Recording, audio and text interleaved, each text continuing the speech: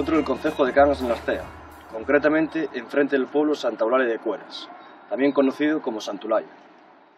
En dicho pueblo, en la década de los 70, surgieron las primeras reuniones campesinas de la región canguesa, que poco a poco derivarían en una agrupación sindical muy relevante, teniendo en cuenta el peso que tiene la agricultura y la ganadería en este concejo. Todo ello se desarrolló en el sindicato y conocido como Unión Campesina Asturiana, que por aquel entonces recibía el nombre de Unión Campesina Independiente. En dicho sindicato se fueron consiguiendo una serie de méritos que derivarían en, la obtención de la alcaldía y de varias concejalías de la capital canguesa, incluso en la vertiente tinetense, que también analizaremos. Todo ello se consiguió gracias a la labor y empeño de nombres como Agustín Marcos, Agustín Fernández, José Rodríguez, Francisco Cadenas, Antonio López, José Calvo y otros tantos más, que consiguieron una agrupación sindical muy destacada, además en tiempos tan llamativos como son los de la transición española. Mi labor principal será entrevistarme con varios de estos personajes mencionados, para que me cuenten sus vivencias, sus experiencias, sus méritos, sus posibles defectos en todo este proceso sindical en la transición española. Me encuentro en Llaveras, en el Concejo de Cangas de Narcea, en Casa Cadenas, con, el señor Francisco Cadenas, el cual, ganadero de profesión durante toda su vida, tiene un largo historial a nivel sindical, ya que fue socio fundador de la cooperativa de Cangas de Narcea, socio fundador de ASEABA, concejal en la alcaldía de Cangas de Narcea por Unión Campesina Independiente, de la cual también fue socio fundador, y nos va a contar concretamente de este sindicato sobre lo que fueron los comienzos de este trabajo. Vamos a hablar un poco sobre concretamente esta etapa de Unión Campesina Independiente, Unión Campesina Asturiana, y para que nos comentes cómo fueron estos tiempos en los que tú tuviste un peso muy importante, como he dicho, ya que fuiste socio fundador y después, cuando se consiguieron los puestos en la alcaldía, tuviste un, un papel de concejal ahí. Por lo tanto, te voy a hacer una serie de preguntas y para que nos indiques un poco cómo fue todo este proceso. En primer momento, muy fácil, ¿Cómo fueron los comienzos de Unión Campesina Independiente? A ver, los comienzos fueron a través eh, de un cura que había en esta parroquia. Este cura parece ser que había una... Había una los curas ya tenían eh, una, una especie de asociación que hacían una hoja parroquial en alguna parroquia por salas, creo que era, o por ahí. Entonces estos curas se reunían, eran curas jóvenes entonces yo tenía amistad con él y un día hablando me dijo que el campo que necesitaba una organización y efectivamente lo necesitaba. ¿De qué años estamos hablando, Paco? Pues estamos hablando de últimos de los 70, a partir del 75, podría ser el 76, 77, 78, por ahí. Entonces, eh, efectivamente, pusimos manos a la obra. Yo con quien primero contacté fui con el pueblo de Santa Eulalia, porque tenía ahí un amigo que vendía tractores y un día hablando con él, dije, coño, esto puede ser algo positivo. Puede ser algo positivo, empezamos a hacer reuniones, en principio las hacíamos en las iglesias, a través de estos curas, porque en otro sitio no nos dejaban locales. Nos dejaban locales porque donde normalmente hay había locales eran los las tiendas y almacenes de pienso y demás. Y esta gente se daban cuenta que nosotros íbamos con miras a una cooperativa y que les íbamos a quitar a ellos un poco el negocio. Entonces empecemos haciendo reuniones por iglesias, eh, luego ya en el pueblo de Santa Eulalia se nos cedió un local que era un, un, sagar, un lagar de, todo el pueblo, y allí ya emplacemos las reuniones prácticamente, eh, las principales todas allí aunque salíamos por la periferia, yo anduve prácticamente todo el concejo, haciendo reuniones por todos los pueblos, haciendo socios pauca. ¿eh? En, total llegamos a tener, creo que, 800 y algo. Tenemos papeles para demostrarlo. Aparte de esto que me dijiste del cura, ¿recibisteis alguna influencia más para realizar toda esta unión? ¿O fue simplemente por, por convicción personal de cada uno? No, en principio no recibimos influencia alguna. Posteriormente sí, recibimos influencia que posiblemente tuviera mejor para allá, esta influencia. Porque eran, eh, vamos a llamarles, partidos con... Eran representantes de partidos, pero eran eh, de alguna manera con una careta puesta. O sea que no representaban, ellos ante nosotros no representaban el partido, pero sí estaban apoyados por el partido de alguna manera, como luego lo demostraron. O sea que en estos primeros momentos, quieres decir que realmente esta unión campesina era independiente. Era, como dice el independ- nombre. era No independiente. tenía ninguna influencia política interna. Exactamente, era independiente, que, que luego estos mismos que te digo yo que estaban metidos con caretas dentro de la organización fueron los que le cambiaron el nombre, porque era UCI, Unión de Campesinos Independientes. Entonces dijeron que quedaba mejor Unión de Campesinos Asturianos. O sea que en eso, en un primer momento, el- ¿de cuántos años podemos estar hablando?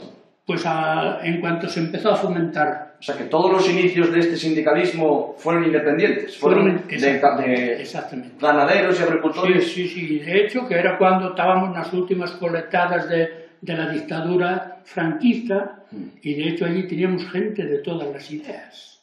Y dentro de la organización había gente de todas las ideas. Entonces fue cuando, cuando algunas ideas predominaron sobre otras y sabían por dónde andaban, que otros no sabíamos por dónde andaban. O sea que se, se puede decir eso, que realmente en esos primeros momentos la unión era de campesinado, no, de, de- no ideología política, de campesinado. Exactamente. Porque, claro, compartiríais condiciones de en qué, ya que hablaste de que estamos hablando de finales de la dictadura, de transición, 70 y demás, ¿en qué condiciones encontraba el, el campesino cangués, el, el ganadero cangués?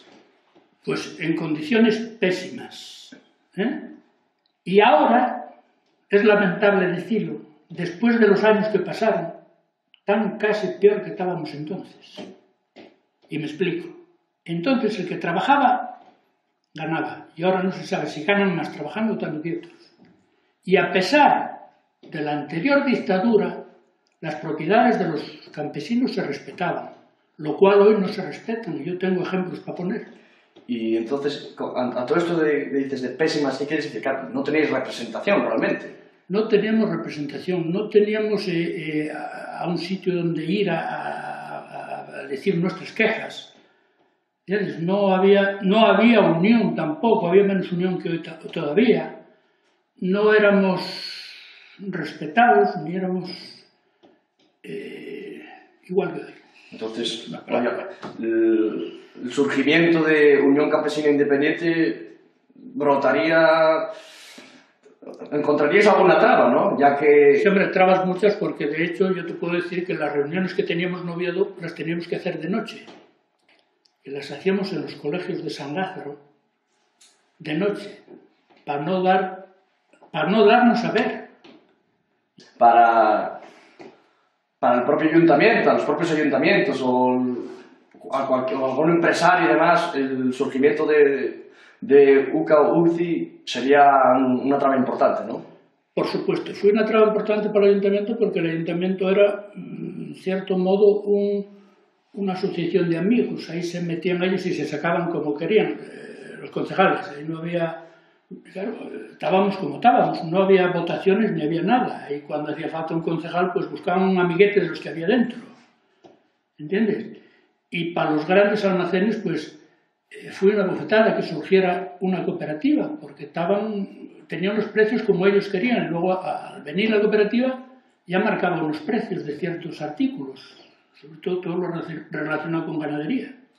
Entonces ahí dentro de una de ellas será esta que me acabas de comentar. ¿Y ¿Cuáles eran las principales reivindicaciones que, que como sindicalistas pues poníais en la mesa?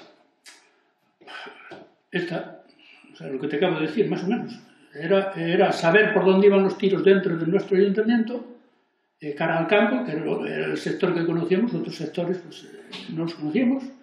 Era eh, llegar a traer directamente de productor a consumidor los, los productos que se consumían en las ganaderías y más o menos llegar a hacer un matadero en Cangas que no fuimos capaces de hacerlo.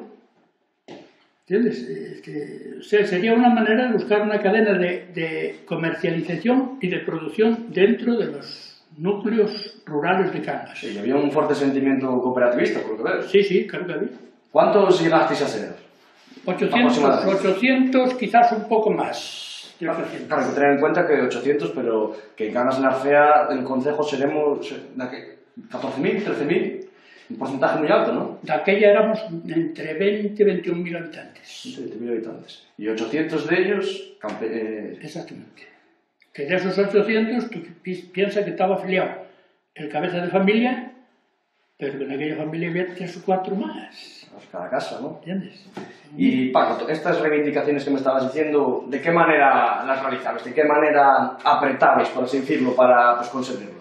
Pues mira, haciendo manifestaciones, cortando carreteras, que, a ver, yo me recuerdo la primera vez que cortemos la carretera, que yo estaba en la espina, pasé más miedo que, que vergüenza, porque había, había más guardias civiles casi que ganaderos. Y estábamos, no nos olvidemos que estábamos en los últimos años del franquismo.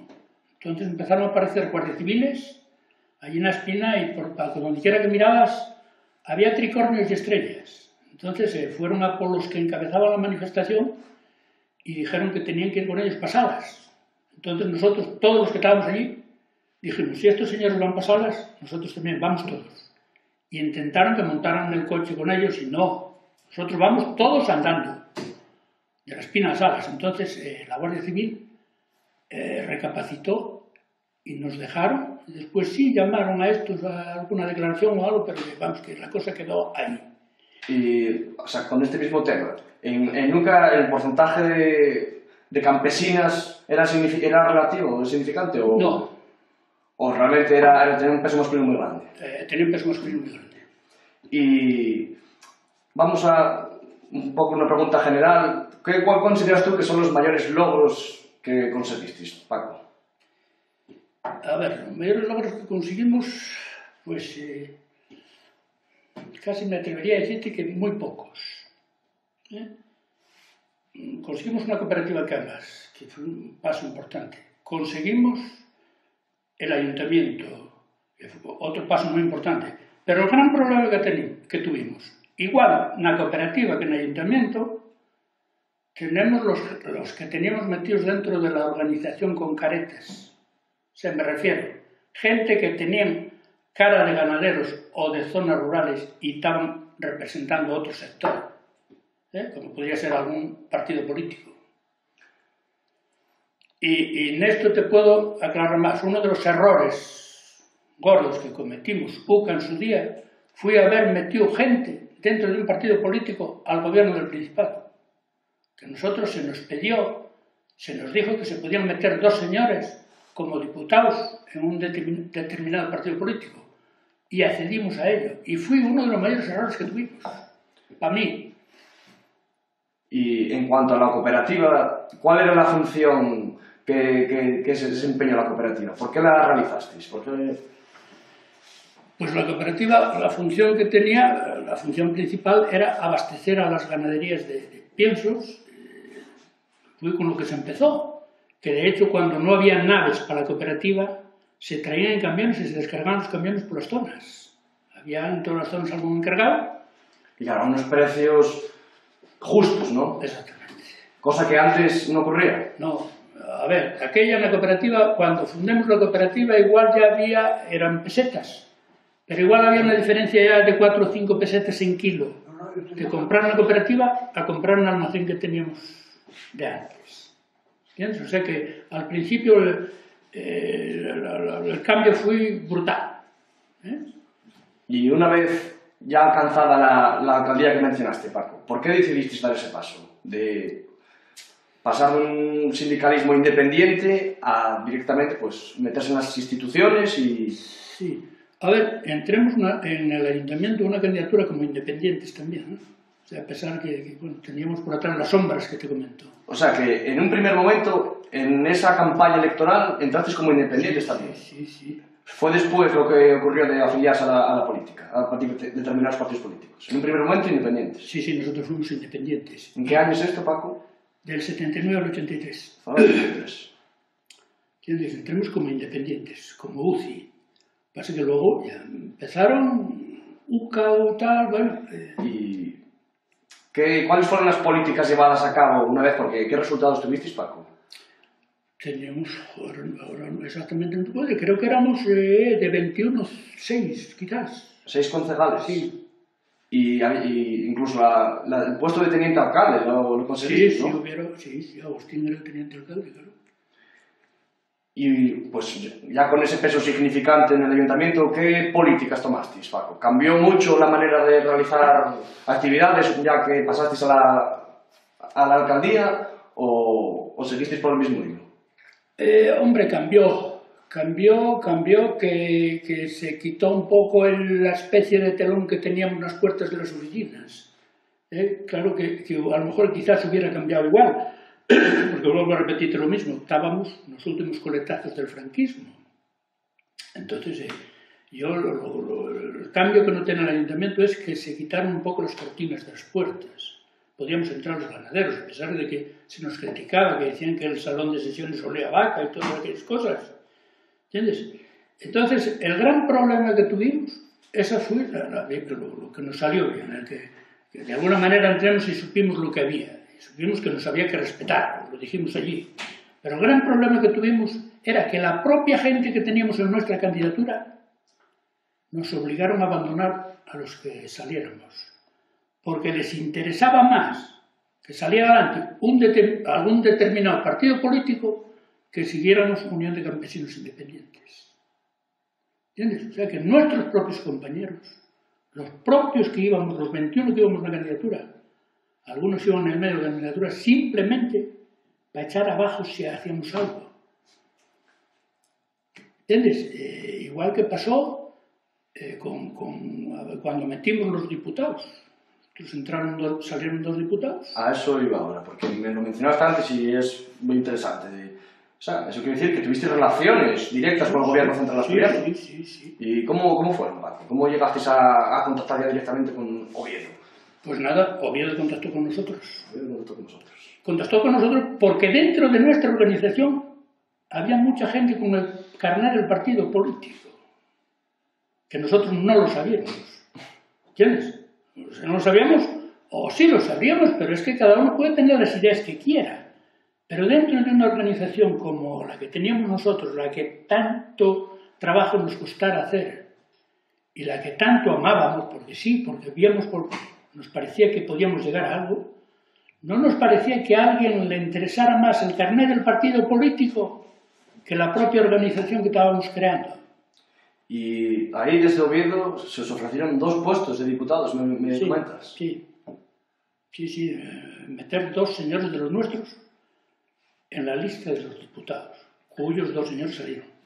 Y esto de Unión Campesina Independiente, ya después asturiana, era, se, pasaba más de, las fronteras de Cangas, ¿no? Llegaba a Tineo, a, a Pola, ¿tuviste relación con ellos? Sí, sí, sí, por supuesto, era todo Asturias. A ver, nosotros las reuniones que, que, que, celebrábamos en Oviedo, éramos representantes de todas Asturias. ¿Entiendes? Eh, vamos, de, todo, todo, todo. Creo que todos o el 99% de los ayuntamientos tenían su representación en Nuca. ¿Entiendes? Entonces, este, lo que no me cabe la menor duda es que éramos una fuerza, una fuerza muy grande de aquella en Asturias. Entonces, alguien jugó con mucha más habilidad que nosotros, metiéndonos a dos señores como diputados para enterarse de lo que estábamos haciendo por un lado y para volcarnos la organización por otro. O sea que para ti realmente esa politización fue lo que... Lo que arruinó a OCA. Lo que arruinó al sindicato. Claro. Lo que arruinó, arruinó a OCA. Mira, yo te puedo decir que en Cangas del Narcea éramos 800 afiliados, más o menos, hechos los carnés por mí pluma casi todos. Y seguro, seguro que hoy no los hay en toda Asturias. Entonces tú imagínate que en Cangas del Narcea hubiera 800, en Pola hubiera 500, en Tineo hubiera... Éramos una fuerza, eh, éramos una fuerza que íbamos a poner a los políticos a temblar a todos. Pero teniendo en cuenta de que la ganadería en Asturias tiene un peso muy, muy, muy alto. Bueno, Paco, tú nos habías comentado de que por Unión Campesina Independiente en el 79 hasta el 83 Sí. habías estado de concejal en el Ayuntamiento de Cangas de la. Sí. ¿En, qué, ¿En qué puestos tenías en la concejalía, en el Ayuntamiento? A ver, en el ayuntamiento era un concejal eh, raso, por llamarlo de alguna manera, y aparte tenía, eh, formaba parte de la Comisión de Agricultura, Ganadería, Montes y Minería. O sea, que todas las políticas relacionadas con, con agricultura, montes, Sí. la pasaban por, por ti y por los compañeros que tenías, ¿no? Eh, Había un presidente y yo era invocado. También tuve una comisión de beneficencia, eh, que también se trataba, cuando había algún tema de beneficencia, se trataba igual que el de agricultura y ganadería, que convocaba al presidente, que yo era un mero vocado. Entonces nos reuníamos, solíamos reunirnos de noche porque el que más y el que menos teníamos que trabajar. Dietas no cobrábamos. O sea, tener en cuenta eso, que, que tú eres ganadero de profesión y que tu profesión era de la ganadería, aquí en tu casa de. Exactamente. Que todo esto era pues por, por convicción ideológica o... Con, con intención, yo todo esto que hacía lo hacía con intención de poder eh, mejorar un poco el sector. ¿eh? Eh, de hecho, que, que, ya te digo, jamás cobré una, un desplazamiento ni una, nada de, de, por ir al ayuntamiento, ahí íbamos por la cara. Igual a comisiones que a, que a pleno, nosotros no cobrábamos dietas de ninguna especie. Y hay un caso muy curioso que me comentaste antes, que quizá que se aparta un poco del trabajo que es el sindicalismo, pero es muy llamativo. Me contaste que la decisión de instalar un hospital como en Cangas de Narcea, en la zona suroccidental, fue vuestra. Sí. Hay que tener en cuenta eso que el, el hospital es para tanto para Ibias como para Gaña, por Allande, Tineo y tiene un peso muy importante en el concejo. Sí. Le dio mucha vida al concejo, realmente. Por supuesto.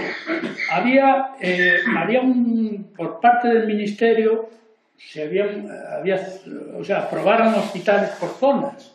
Concretamente, para Ibias de Gaña, Pola de Allande, Tineo y Cangas del Narcea, había posibilidades de hacer un hospital. Entonces, por lógica, Cangas del Narcea es el ayuntamiento mayor, el concejo más grande, más extensión, con más población de aquella, que no, no olvidemos que había 21.000 habitantes, Sí. eh, quedaba en el centro de la comarca, entonces era eh, idóneo para pa hacer el hospital. Y coincidió cuando vosotros estabais en la Exactamente, cuando nosotros estábamos. Pero teníamos, claro, eh, Ibias de Gaña y Pola no, no tampoco apoyaban mucho, estaban conformes con hacer un Cangas o incluso Tineo, pero Tineo quería el hospital, como es lógico, todo el alcalde quería ganar sus, sus honores. Entonces llegó un momento que se nos dijo, el, el actual, el actual solar del hospital ya lo teníamos de alguna manera eh, controlado. Pero llegó un momento que por parte del Ministerio se dijo, tenéis un plazo de tanto X tiempo, no me acuerdo exactamente cuánto, para aportar el, el solar, si no, se lo lleva al ayuntamiento que aporte el solar sin más ya. Entonces, como teníamos eh, otros ayuntamientos que lo querían, hubo que comprar ese solar ya. Entonces, ese solar, yo me acuerdo que negociaron el alcalde que había entonces, José Luis Moano, Que era de, era de UCA, de UCA de UCI, era de UCI. O exactamente. sea, alcalde, teniente alcalde y una lista de concejales. Exactamente. Exactamente. Entonces el alcalde eh, negoció con el portavoz que tenían los propietarios del solar del actual, mm, del actual hospital, Sí. que tenía como portavoz a Segundino Cosmen en paz descanse. ¿eh? Entonces eh, ahí negociaron y Segundino Cosmen pidió a 4.000 pesetas metro cuadrado.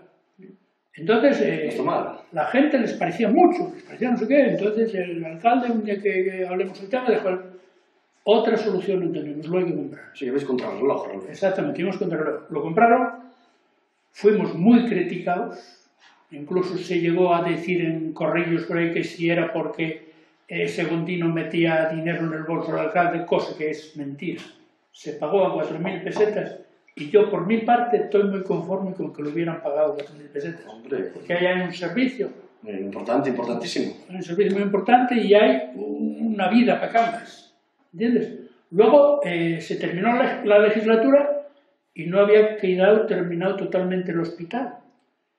Y lo inauguró el alcalde siguiente. ¿Y qué pasó? Que quizás se colgó más medallas de las que le Posiblemente, posiblemente, yo cuando veo el ayuntamiento veo un letrero que ponga inaugurado por don fulano de tal, pues eh, "Jo, tenía que haber otro nombre, pero bueno, así todo conforme que esté inaugurado y que esté funcionando como funciona. ¿Entiendes? Que hay un servicio para el, para el Consejo de Cangas y para los limítrofes. Pues ahí está claro que, de que se ve que UCI y UCA tuvo un papel más allá del agrario en cuando consiguió la alcaldía. Por supuesto. O sea, que una- una- un abanico político muy amplio, ¿no? Sí, bueno, íbamos, íbamos a todos los temas que interesaban a los consejos. ¿Entiendes? Y de hecho se nos cortó, que pienso que fui una pena, bueno, pues, a lo mejor he visto desde mi punto de vista, que se nos hubiera cortado el- la trayectoria que llevábamos. Me encuentro en Santa Eulalia con el señor Agustín Fernández, ganadero de profesión y socio fundador de UCI, teniente alcalde de Cangas en Arcea de 1979 a 1983, presidente de la Comisión de Agricultura del Ayuntamiento en esa legislatura y presidente de la cooperativa Santa Eulalia. Agustín es de Casa Correo de este mismo pueblo, Santulaya, y nos va a comentar un poco cómo fue su papel en el proceso sindical que estamos analizando. ¿Cómo fueron los comienzos de, de este sindicalismo en el que tú tuviste un peso muy relevante?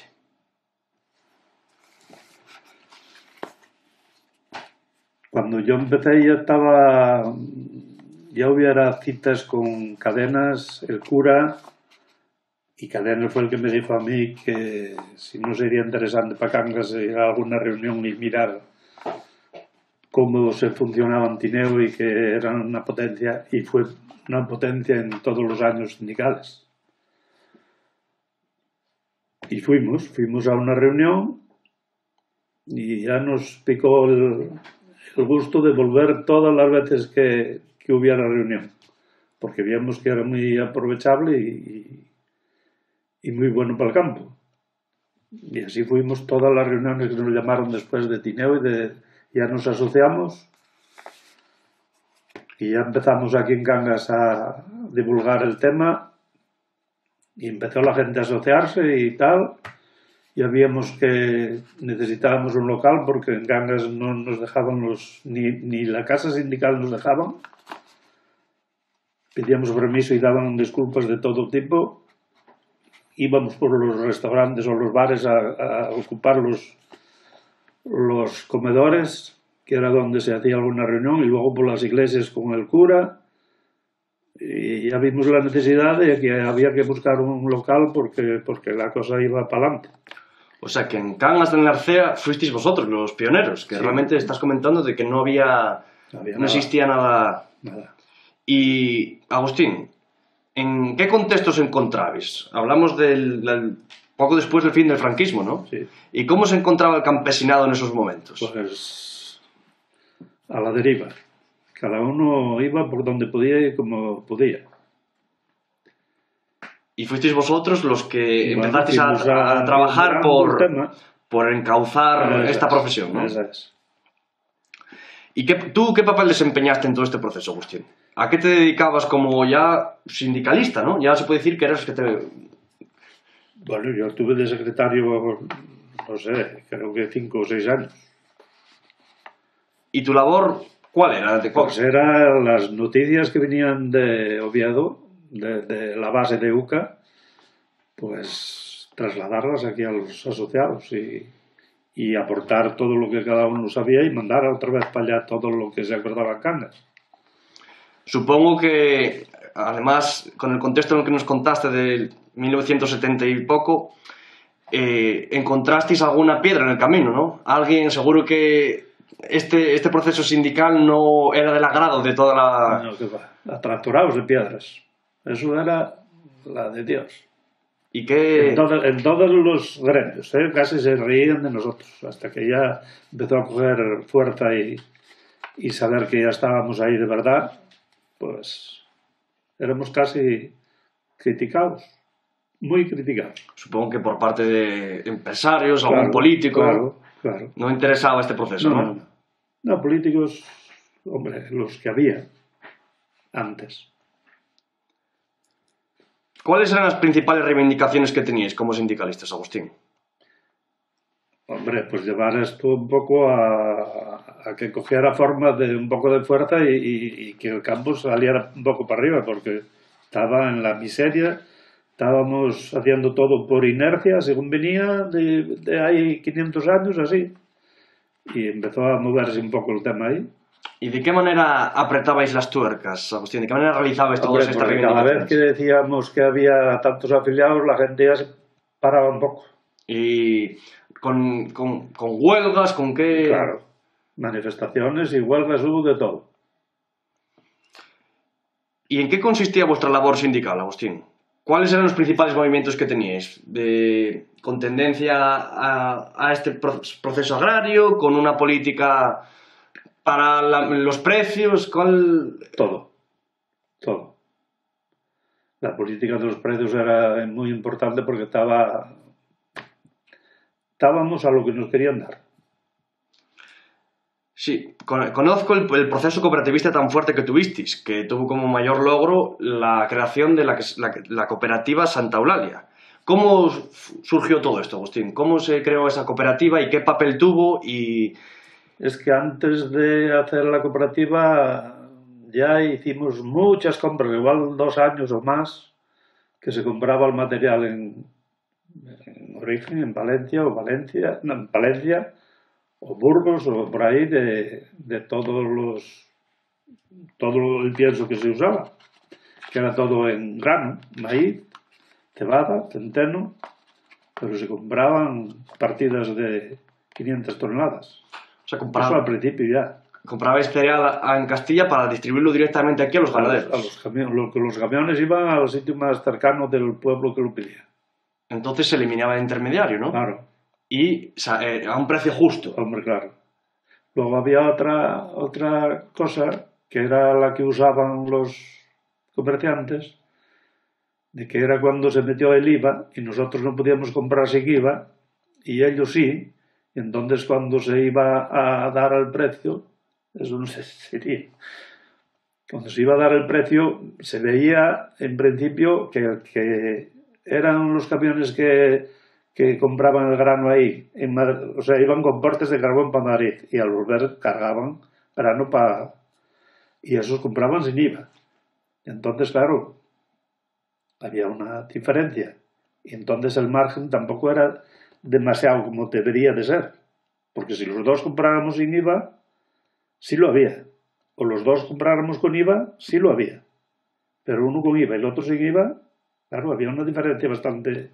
O sea, que estuvisteis tiempo Fuimos criticados ahí. y estuvisteis tiempo comprando grano y cereal a, Sí, a en sí. Castilla, trayéndolo aquí a Asturias Sí. y después Asturias no a Cangas. a Cangas. Y después creasteis una cooperativa de piensos. Sí. ¿Y cómo, cómo se creó Porque todo ve- este proceso? Veíamos que hacía falta no andar por ahí lloviendo y tal por las carreteras descargando el verano. Veíamos la necesidad de tener un local porque no así no tenía mucho futuro. Y un día, pues, supimos que se vendía ahí un terreno y fuimos José Rodríguez, Fonso Penles, Venta y yo y lo compramos a 400 pesetas el metro cuadrado, creo que fue ya.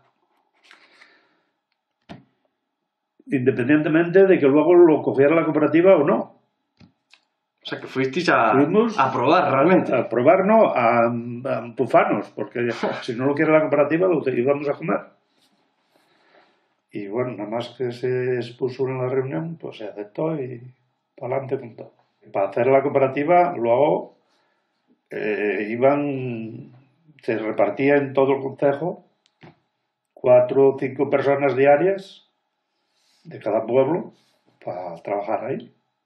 Y así se formó. formó. Y hoy, aún hoy en día persiste la cooperativa, ¿no? Sí, sí, sí, claro. Y, y con buena potencia. Y bueno, Y Agustín, ¿qué papel tuvo el pueblo de Santulaya en todo este proceso de Unión Campesina Independiente y los logros que consiguió como es esta para el cooperativa? pueblo, pues si no fuese porque se hizo aquí el local y, se, y la gente de aquí se molestó mucho, mucho, mucho, yo creo que esto no. Porque es una. Es un trabajo muy duro, perder tiempo, perder dinero, perder amistades, perder de todo. ¿eh? O sea que mucho- muchos de los pioneros de, de Unión Campesina Independiente eran de este pueblo, tú incluido, por supuesto. Sí, sí, claro. Y No, aquí éramos todos. todo, todo el pueblo. Sí. ¿Cuántos, ¿Cuántos afiliados llegó a haber en total en Cangas de Narcea, por ejemplo? Pues creo que tengo las actas en casa que llegó a haber 1.200 afiliados en Cangas. 1.200 afiliados en Cangas de Narcea. Entonces, siguiendo con lo de Santa Eulalia, todo el pueblo pertenecía al sindicato y tuvisteis una gran labor en todo ello. Además, era aquí la, Sí, sí. la, la base principal donde os reuníais, ¿no? Sí, aquí todos los sábados, durante seis o siete años, todos los sábados había reunión. Todos los sábados. Todos los sábados. Y Agustín, ¿tú me puedes decir ahora qué consideras un logro de este proceso sindical y qué consideras un error ¿cuál po- podría ser para ti el mayor hito de UCI y cuál podría ser para ti el mayor fracaso? Fracaso. No hubo ningún fracaso sin, sin algún rendimiento, alguna cosa buena. Por ejemplo, el ir al ayuntamiento, fuimos en minoría y sufrimos muchas calamidades que, que hoy a lo mejor pues no se hacían. Y hubo buena cosa porque se abrieron puertas entrando en el ayuntamiento. Ahora voy con el ayuntamiento, ya que lo mencionas. ¿Qué papel y qué labor tuviste en el ayuntamiento de Cangas de Narcea? Porque entrasteis, ¿no? Sí, sí, al... conseguimos entrar con seis, que era José Luis Humano, director de la Caja Rural, alcalde, yo teniente de alcalde, eh, este, Cadenas, concejal, y, co- y alguna comisión, José Luis de, de Agüera el Coto, concejal, con alguna comisión, y Javier Vilumbrales, que era el cura que, que se movía con nosotros, también entró en, la- en el ayuntamiento. ¿Y qué más? Cadenas, Cadenas, José Luis, Y tú mismo, con el, yo- con el, el puesto de... yo teniente de alcalde. de tienes alcalde de Cangas de Narcea. Después estuve en la comisión de, la, de Agricultura de presidente. ¿Y qué medidas tomasteis, todos estos nombres que me acabas de mencionar, en la alcaldía? ¿Qué medidas llevó a cabo UCI? Las más significativas. favorecer el tema de, del solar y de y de la célula de la cooperativa, que si no tendríamos rollo, O sea, potenciasteis la cooperativa que acabáis de crear para que... claro. Ahora, una vez que se compró el terreno, eh, había que edificar y había que documentarla. Y para documentarla, los tiempos no estaban muy fáciles para tirar. Tuvimos muchos tropiatos yendo obviado. Y nos veían como ogros, a todos, ¿eh? Eso un día fui a Estillo. Y Agustín, ¿qué relaciones teníais con otras vertientes del sindicato? Porque en Tineo sé que teníais algún compañero bastante relevante, Sí. en, en Pola Dayan incluso, y, sobre todo Tineo. ¿y qué relaciones manteníais con ellos? Porque allí también Unión Campesina Independiente logró Eh, tener un, un peso importante, ¿no? Es el más importante de Asturias. El más importante estaba en Tineo. Y, y allí. Claro, nos, nos, nos llamábamos y sabíamos los datos de los problemas y de todo fácilmente. ¿Compartíais alguna... Compartíamos todo. Incluso, bueno, en- con el gobierno central de Asturias Sí, sí, claro, ¿no? claro, claro.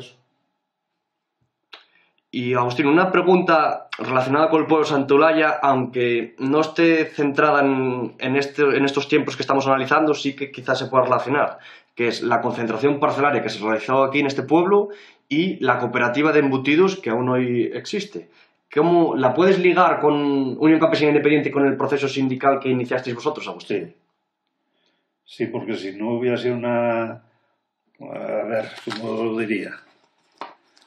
Si no hubiese de antemano la relación que había con todo el mundo, pues, pues no decidirías ir, tan para adelante, porque era un salto bastante considerable. ¿eh? Salir de la nada ahí arriba y poner las tierras todas a disposición. Claro, aquí se hizo una concentración parcelaria y después una cooperativa de embutidos. Pero Y- la cooperativa de embutidos se llevaba consigo las tierras de todos los vecinos. Y gran, la, la gran mayoría de los socios de esta cooperativa de embutidos son, eran de UCI, ¿no? Sí, O sea que realmente es como una consecuencia. sí, sí, Eh. sí, sí, sí, claro.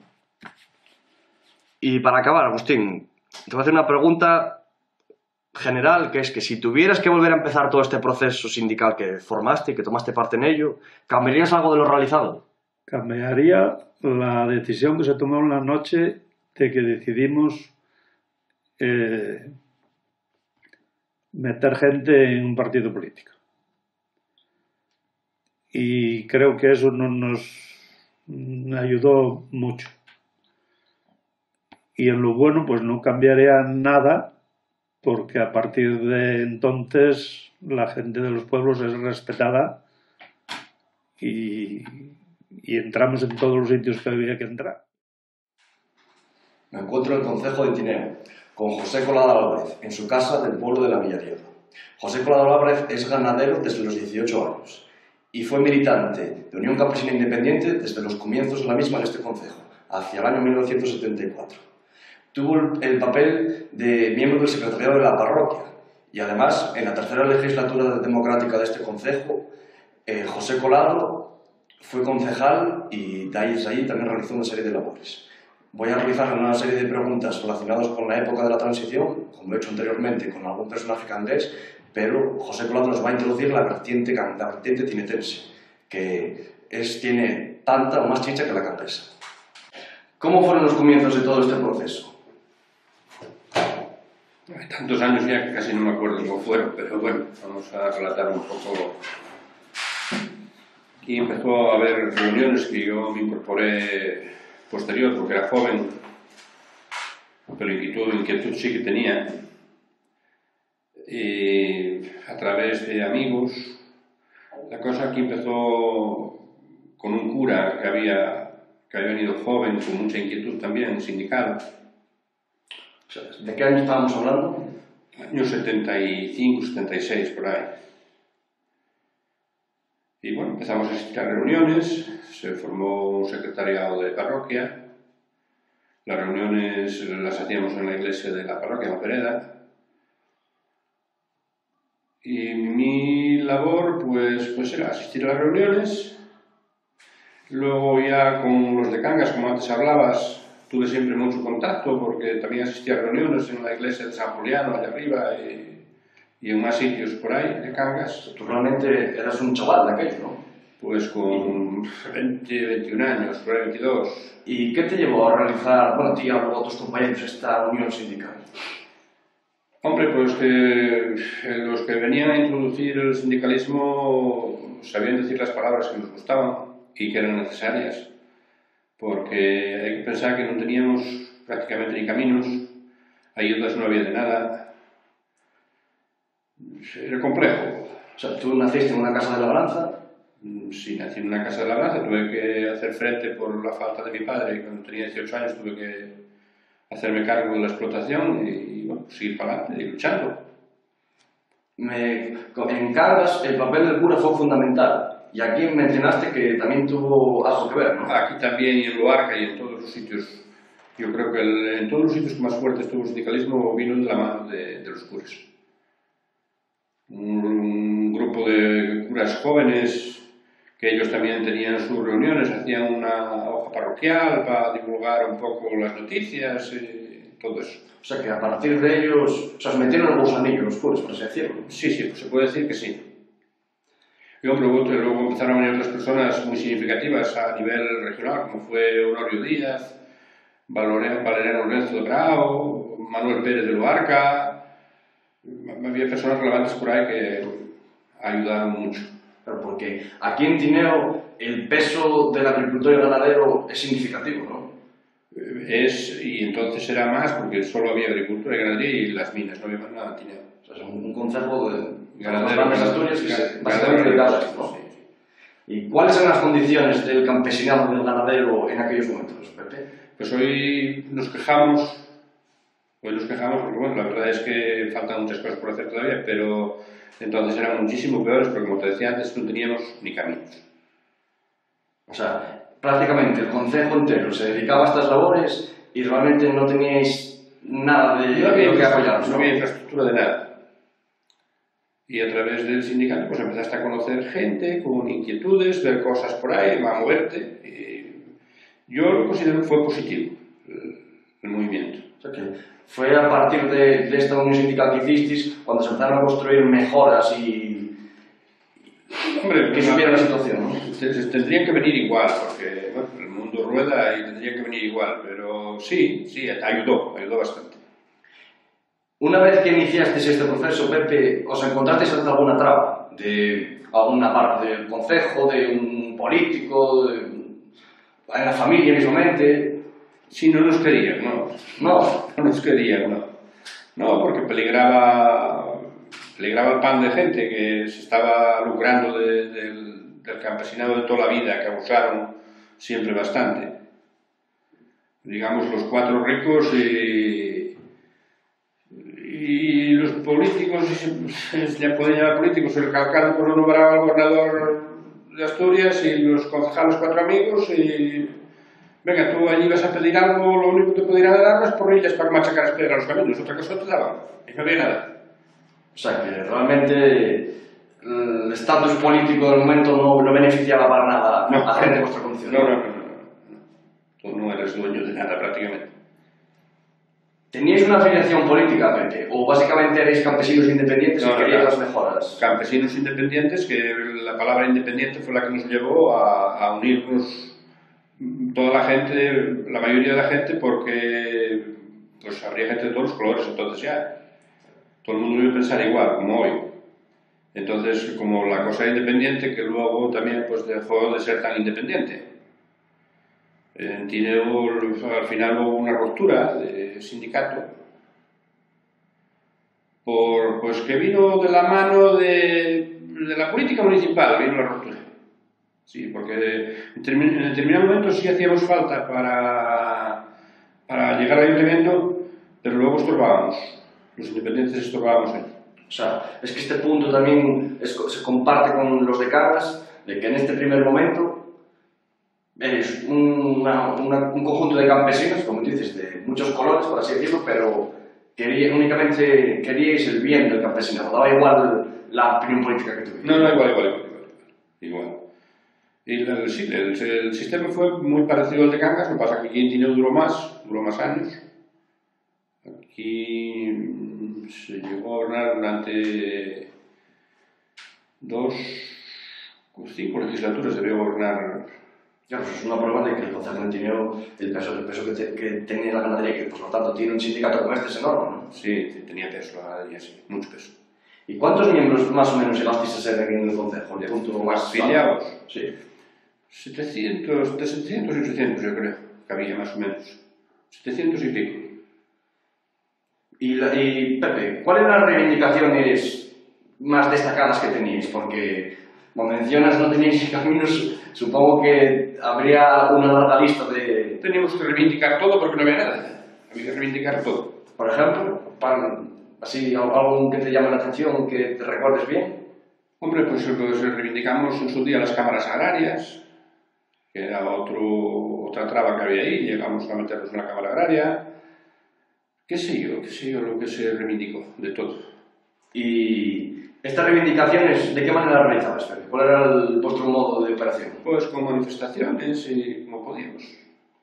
Era- reivindicábamos precios justos para la leche, por ejemplo. En Cangas era más de carne para la carne. Reivindicábamos todo lo que podíamos. o sea, el activismo era fuerte, o sea, el- Sí, sí, sí, sí, el activismo. Constante, fue- ¿no? Sí, sí, sí. Y en las manifestaciones acudía gente y... Bien. desde que eran aquí, o, o también las llevabas a Oviedo, Las manifestaciones casi todas en Oviedo. Aquí hubo también cortes de carretera, tractoradas. Hubo una tractorada importante que salimos, no sé, seríamos igual, pues igual 400 tractores que arrancaron desde Luarca a la Espina y en la Espina partíamos hacia Oviedo, pero en Grau nos cortaron la cabeza. O sea que llevasteis un, una, un circuito de tractores e con a competición llevar a Oviedo. Sí, sí. Pero cando o día que salimos de Grau a Oviedo, dijeron que non, é máis adelante que non. Quietos. Eh. Que pasou aí? La policía, los grises e quietos. Sí. Sí, sí. Sería o enfrentamiento máis gordo que hubo, e non hubo palos, eh? No, E que recuerdas? Lo máis destacado de ese día, podría, recuerdas algo de... Os frenaron duramente... Sí, nos metieron allí en un campo que había E incluso alguna vez ganaderos de Nacho cogió el tractor e cruzou o río e macho para casa. Eh, esas anécdotas e las hai, desas bastantes. Entonces, hubo algún problema con las tropas del Estado, ¿no? Sí, sí, hubo, hubo problemas, pero no, tampoco... Vamos, yo nunca tuve que correr de ellos. No, eso no. Bueno, marchábamos antes de que vinieran los palos. o sea, la integridad la mantenéis, ¿no? Sí. Eh, mencionamos el caso este de la tractorada, eh, por exemplo, en Cangas me mencionaban que en La Espina también hubo una, una manifestación que frenaron y después querían llevaros a... ¿Tú estuviste, recuerdas algo de eso? Yo eso no lo recuerdo, eso no lo recuerdo, no, no recuerdo. Y yo estuve, estuve en otro corte de carretera en pleno verano en, en la recta do Tour, que allí sí hubo, allí sí estuvimos cerca de llevar palos, que había muchísima gente con cubas de ahí incluso para regar la carretera y bueno, al final no se llegó a nada porque... Pero allí fuera duro, fuera duro. Y bueno, Y cambiando un cuando la tractorada debimos echar, pues igual, cerca de dos semanas tirados por ahí. ¿eh? Ah, sí. Con los tractores, y si no fue de un día, no. ¿Y esta, estas huelgas tractoradas consiguieron su propósito? ¿Valieron, ¿Valieron la pena? Hombre, yo creo que sí. Yo creo que sí. El- La administración se dio cuenta que estábamos ahí y, bueno, fueron dándonos algún caramelín. Y luego ya se fueron haciendo con los mandos más importantes para quitar fuerza al sindicato y se quitó. Hay que decir que se quitó. Los sindicatos hoy, mira, esta semana hubo una manifestación en Oviedo, cuatro. La- la- la- La gente no asiste, no... Y, hay motivos, y hay motivos. Hay motivos. consideras que el campesinado sigue teniendo una serie de problemas, pero que la, la fuerza que tenías hoy en día ya no existe, ¿no? No, porque cada día hay menos ganaderos, los ganaderos cada día tienen más que hacer, eh, la gente se desmotiva de manifestaciones y una cosa y otra porque bueno, ves que lo que se ve. E, Pepe, bueno, grandes, grandes sindicalistas saltaron a la vida política de la mano del sindicato. Es verdad que todos sacaríamos algún beneficio, pero muchos pues eso, saltaron a la vida política de la mano del sindicato. Con la gente que tenían de atrás, eh, decían palabras bonitas en los escenarios y, y enseguida partidos los cogían para, para coger los votos del campo. O sea, que esa condición de independiente alguna, en algunos casos se perdió. ¿no? Sí, enseguida. En dos, tres años los independientes se perdió. Y en cuanto... Seguía como independiente, pero no era verdad. Y en cuanto a la organización del sindicato, ¿puedes decirnos los lugares de reunión que teníais, los apoyos que lograbais, cómo se organizaba el sindicato? ¿Recuerdas algo de...? Las, las convocatorias de boca a boca. Yo, pues avisa a fulano, avisa a mangano, y por las reuniones por las iglesias, de primeras, luego ya, pues... Estas, estas primeras 74, me dijiste, 75. Sí, por ahí. Sí, o sea, 70 y adelante, sí. Época todavía sí, convulsa, sí, ¿no? Sí, sí, época complicada. Sí. ¿Y las tenías que hacer en clandestinidad o abierta, o podías hacerlas abiertamente? No, no, más bien clandestinas. Eh, yo no estaba, pero sí lo sentí comentar a los compañeros que una vez fueron a una reunión al Franco, allí sí tuvieron problemas. Les denunciaron todos los coches que tenían allí la Guardia Civil y allí tuvieron problemas con ellos. Tuvieron que marchar, pero bueno, luego cada vez empezaron a ser un poco más flexibles y ya se iban haciendo reuniones en las escuelas o donde se podía. Son unas reuniones de primero inglés, después escuelas, bueno, y fuisteis eh, creciendo, ¿no? Y ya se fue desarrollando el sindicato. ¿Apoyos tenéis, eh, tenéis un apoyo considerable eh, o siempre fuisteis contracorriente? No, apoyo, no, apoyos, los apoyos los nuestros, no había más apoyos. Bueno, pero apoyos del campesinado que Sí, sí, sí. Apoyo del campesinado sí, pero otros apoyos no. De instituciones, ni de... No, no, no, no, porque estorbamos. Claro, realmente contra lo que sea, el intermediario y demás personalidades Exactamente, rompíais, ¿no? exactamente, sí. Porque de la mano de los sindicatos también llegaron luego el movimiento cooperativo, que también hizo mucha pupa, quizá más que el sindical. almacenista, a todo, a, a- todo comerciante y todo almacenista, claro, creábamos problemas, los, las cooperativas. Creasteis, a raíz del sindicato surgió un cooperativismo Surgió el cooperativismo, sí. destacado aquí. Sí, sí, surgió el cooperativismo con de la mano del sindicato, nacieron las cooperativas. Y claro, bueno, claro, esto, esto supone para el el comerciante de toda la vida eh, un palo muy duro. Sí, porque eh, en principio pues nos vendían que las cooperativas tenían que ser pequeñas, que veníamos del sindicato vertical y que las cooperativas tenían que ser pequeñas, manejadas por sus socios, pero que todo también se politizó y las cooperativas empezaron a hacer grandes y más grandes y más grandes y el socio y la cooperativa no pinta nada. El socio y la cooperativa no pinta nada, es un uno que está ahí, que consume y paga y, y otra cosa. Es una consecuencia negativa, pero en, Es, es origen, muy negativa. en origen, eso es un tema que tendremos que tratar hoy en día, pero en, en origen eh, supuso, supuso un muy, avance, ¿no? Muy positivo, muy positivo, sí. Muy positivo. Para un ganadero, porque eh, ¿cuánta, ¿qué cabezas de ganado llegaste a tener tú, Pepe? Pues sobre 130, 140. Y aquí en Tineo, en aquel momento era el, lo normal, ¿no? O sea, sí, siempre... sí, ganaderías, sí. 60, 70 vacas en ordeño era lo... Y eso para, y más. para un ganadero de, de estas dimensiones supone un, supone un beneficio muy grande, ¿no? Hombre, claro, porque tú ibas a comprar piensos, la báscula tú no la veías, que era lo principal, la báscula. Y lo primero la báscula, y y luego los precios. Ya empezaste a comprar, comprabas pues materias primas mejores, a mejor precio, pesadas y sin manipulación. Y a nivel de la venta, aquí principalmente la de leche, ¿no? Sí, También conseguiste saltar un muro. conseguimos hacer grupos de leche que pasaron a, a cobrar la leche más los grupos. Logramos tener un grupo grande que fue Valdesat en su día, que luego también acabó pues, pues, regular, politizado también. Sí. Y bueno, caímos en un, se absorbió Central Lechera Asturiana y bueno, Central Lechera Asturiana pues hoy está funcionando bien, cara ganadera. Y así. ¿qué más cosas te podría contar? O sea, pero Pero si me acordara de todas, pues tendríamos para tres horas. en, no me acuerdo. en este caso, de obviamente para un ganadero de estas dimensiones supuso un- una mejora muy significativa, ¿no? Sí, porque te comentaba antes, empezaste a, a salir de casa y ver el mundo y hablar con otros ganaderos y tú cómo lo haces y tú y vas, vas creciendo, quieres que no vas creciendo, en conocimientos y en todo.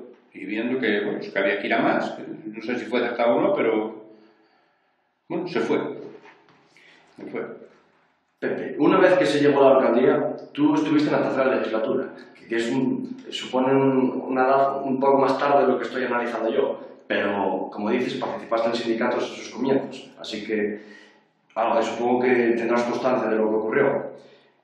Esas políticas, esas reivindicaciones para el sector agrario que teníais, una vez que conseguisteis llegar a la alcaldía, que fue la primera legislatura ya, y tú participaste en la tercera, ¿Seguisteis con ellas? O sea, ¿y ¿fue desde la alcaldía desde donde más conseguisteis o fue desde la calle, por así decirlo? Hombre, al entrar en la alcaldía empezó a ver cosas de los presupuestos, que no eran muy grandes los presupuestos que había en los ayuntamientos, pero empezó a ver cosas para los pueblos, a poner luces públicas, a ensanchar caminos, había una cantera de Zahorra que por lo menos sacaba Zahorra y arreglaba los caminos con aquella cantera, se asfaltaron muchos caminos, se hicieron muchísimas cosas en el ayuntamiento, muchas, muchas.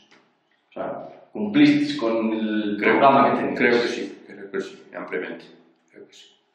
Y, claro, eh, la, la élite de- de la- del momento, que estaría en la, en la alcaldía, supongo, ya de, de tiempos anteriores, fue un shock, supongo, ¿no? supongo. Te un ganas de 140 vacas, llegar allí... Sí, los de la villa decían que ahora entraron las vacas en el ayuntamiento, cuando entramos nosotros, ahora entraron las vacas en el ayuntamiento. O sea, los tiempos cambian, ¿no? Sí, los tiempos cambiaron, sí. Porque claro, antes si algún beneficio había era para la villa. El alcalde era de la villa y los beneficios que había era para la villa. Y luego, pues claro, la villa nos descuidó porque lógicamente la villa también nos votó a nosotros cuando... Luego, pero pero los pueblos mejoraron mucho desde que, desde que el, el Unidad Campesina entró en el ayuntamiento. Es que además tiene prácticamente rural en sí. Totalmente, 100%. Que bueno, tenemos una, gran, una prueba de que, de que fue un punto muy, muy positivo para ella que llegara a la alcaldía. Antes mencionaste que en Caldas, que tú mantenías un papel de intermediario con Caldas. O sea, ¿puedes contarnos cómo eran las relaciones con la vertiente canguesa, que también llegaba a la además? Pues, pues el- los problemas eran los mismos, muy parecidos. Y pues yo lo que hacía, pues que me llegaba información de Oviedo, papeles o cualquier cosa, pues yo me prestaba a acercarlos a, pues, a, a- los de Cangas. Cadenas, Agustín, los que yo conocía. Pues se mantenía una buena relación. Sí, sí. Y de hecho se sigue manteniendo. Y que es una de las cosas positivas de, del tema del movimiento este todo, que tienes amigos en todos los sitios y conocidos. Que eso lo hay que valorar muy positivamente. Políticamente compartiríais prácticamente las, la misma... La misma, la misma filosofía. La situación era, era parecida. Muy parecida. O sea que... Ellos más de carne que nosotros, pero los problemas eran los mismos, eran todos. Y, Pepe, ¿podrías decirme a un compañero tuyo que también tuviera un papel sindical relevante? O sea, supongo que habría varios míticos. Hombre, algunos que ya faltan míticos. Pues aquí en esta zona, pues Angelín de la Pereda, Robustiano entre Ucedo en la zona de Bárcena, hombres que, que tenían prestigio y conocimientos y los ponían a disposición. ¿Y qué, tenían? ¿Un papel similar al tuyo en el sindicato? Mm, bueno, ellos estaban un poco con más edad que yo, más experiencia, tenían más, más labor que yo. Pero bueno, yo que los, los acompañaba donde hubiera que ir y sin problema ninguno. Te voy a hacer una pregunta con la que finalicé tus entrevistas, en la que, a ver, a ver si me sorprendes. Si tuvieras que volver a empezar todo este proceso sindical que formasteis, Pepe, ¿tú cambiarías algo de lo realizado? Hombre, siempre hay cosas para cambiar, pero yo creo que, si volviera a empezar ¿Sin la experiencia o con la experiencia? ¿Te refieres? Con ambas, sin ambas, o con una y, con, y sin otra. Volveríamos a lo mismo. Volveríamos a lo mismo porque te digo que, hombre, hubo sinsabores y tropiezos y cosas, pero también hubo cosas, muchas cosas muy positivas. La mayor, los conocimientos con gente que tienes que, pues llegas a Cangas y tienes amigos en Cangas, vas a Gra, tienes amigos en Grava vas a Loarca igual y todo es muy positivo. A mi manera de ver. Y que se aprendieron muchas cosas. Porque yo que no había salido de casa, no había, no había ido ni a la mili siquiera, porque me había sacado mi madre por viuda, pues, pues los conocimientos se fueron adquiriendo, empezar ahí. Me encuentro en Gijón con el señor Javier Vilumbrales. Actualmente Javier es capellán en el Hospital de Jove y colaborador en la Basílica del Sagrado Corazón. En la década de los 70, Javier se encontraba en Cangas de Narcea y en la zona suroccidental. Allí era párroco de la, de la parroquia de San Julián, Cibea, Genestoso y Leitariegos, y residía en el pueblo de Vimeda. Además, fue colaborador en los inicios de Unión Campesina Independiente y posteriormente, bajo estas siglas, fue concejal de Hacienda y Medio Rural. Como vemos, Javier tuvo un, papel destacado en todo este proceso y vamos a entrevistarnos con él para que nos comente cuáles fueron sus vivencias en tales tiempos. La primera, la primera pregunta que la saco de, de las otras entrevistas que he realizado, ya que la gran mayoría de agricultores y ganaderos con los que he contactado se refieren a usted como uno de los principales responsables de toda la unión sindical que se logró en el occidente asturiano. ¿Por qué, ¿Por qué cree usted que todos comparten esta opinión? ¿Cómo se inició esto?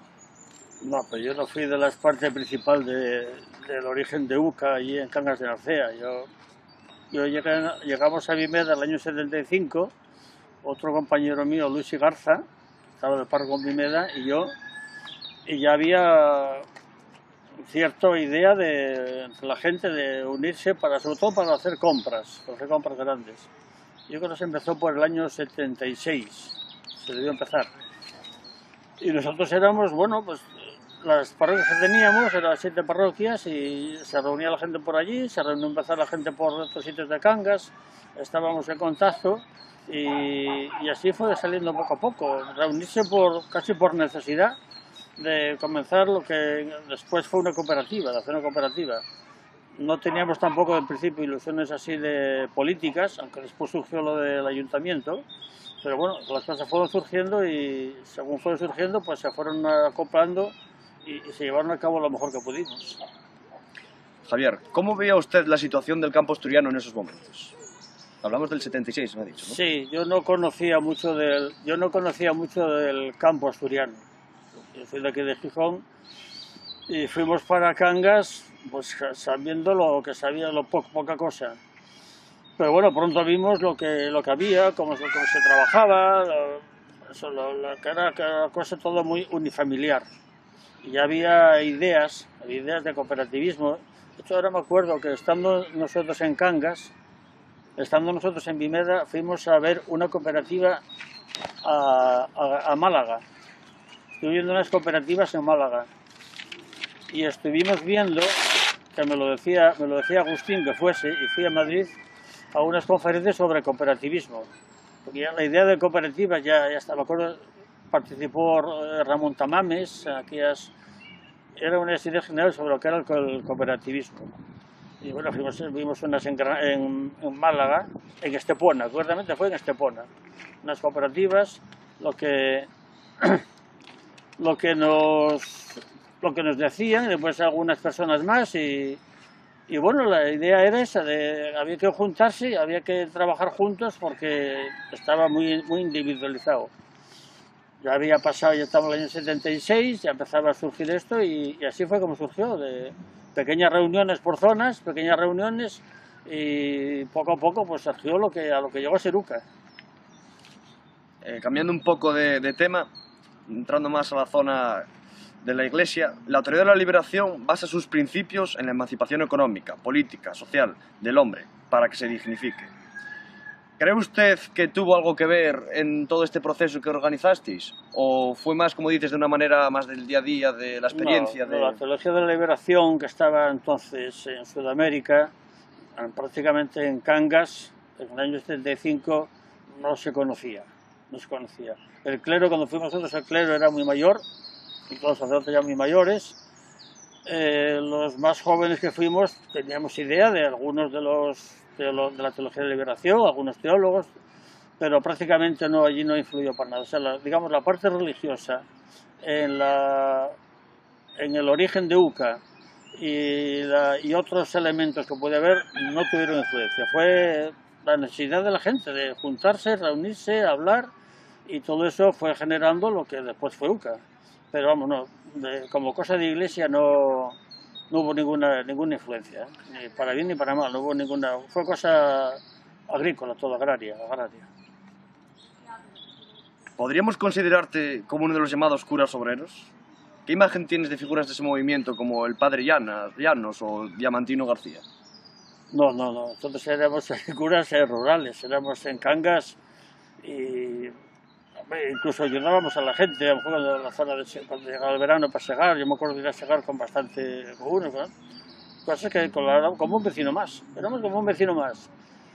Pero la idea del cura, del cura obrero, como era Padre Llanos, como era aquí en Asturias Pepe Iglesias, que era el vicario general, que trabajaban en, trabajaban en parroquias y tenían también trabajo en una, una empresa, y algunos teníamos compañeros que, que trabajaban en la mina llevaban parroquias. En Asturias el cura obrero fue más bien escaso, creo yo. ¿eh? Fue más por Madrid. En Madrid estaba también este otro de aquí del Polesu, el Polesu era muy famoso, que trabajó por Madrid, eran los curas obreros. Aquí en Cangas en aquel tiempo el cura obrero conocíamos a, a unos pocos y no teníamos... La idea era que gente, la la idea general, ¿eh? así en general, eran eh, se los curas comunistas. ¿eh? El Pepe Iglesias, que era vicario general, o sea, después de Don Gavino, el que más mandaba, pues era ese, el cura comunista. Bueno, pues era la de San Benito que les cayó, pero eran curas normales que tenían un trabajo civil en una empresa y después tenían su trabajo en la parroquia. Pero en Cangas de Narcea no, no, no hubo, en aquel momento no había nada. ¿no? La relación sacerdocio y vida rural está unida desde siempre. A lo largo del siglo XX, numerosos párrocos fomentaban la unión de sus feligreses en las zonas rurales. Eh, ¿Pudieron influir en ti asociaciones como la Juventud Obrera Cristiana, la Hermandad Obrera Acción Católica, la Unión Sindical Obrera? O como ya nos has dicho antes, fue todo más de la experiencia del día a día, de cómo veía usted la situación en Cangas y en Tineo. Sí, sí, de hecho, eh, la situación que podía ser política en Cangas, la gente era, no había así, en el año 76, eh, hace un año que había muerto Franco, no había sido una gran necesidad o una gran cosa política.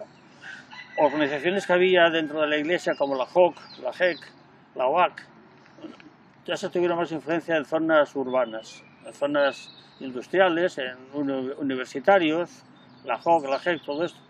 Pero prácticamente allí, ya digo, el clero que había entonces en Cangas, en Tineo, estaba Don Jesús, era ya un clero muy mayor, y estas organizaciones eran más bien con jóvenes, que después sí tenían que dar, pero prácticamente en estos tiempos allí no, creo, ¿eh? por lo que yo quiero recordar, no había nada de, estos movimientos de jóvenes, tipo eso, la JOC, la GEC, la OAC, que de ahí salieron después grandes líderes políticos, de la JOC y de la, y de Sí, la OAC salieron, todos los grandes líderes políticos salieron de ahí, pero Participaban en los campamentos de verano y demás.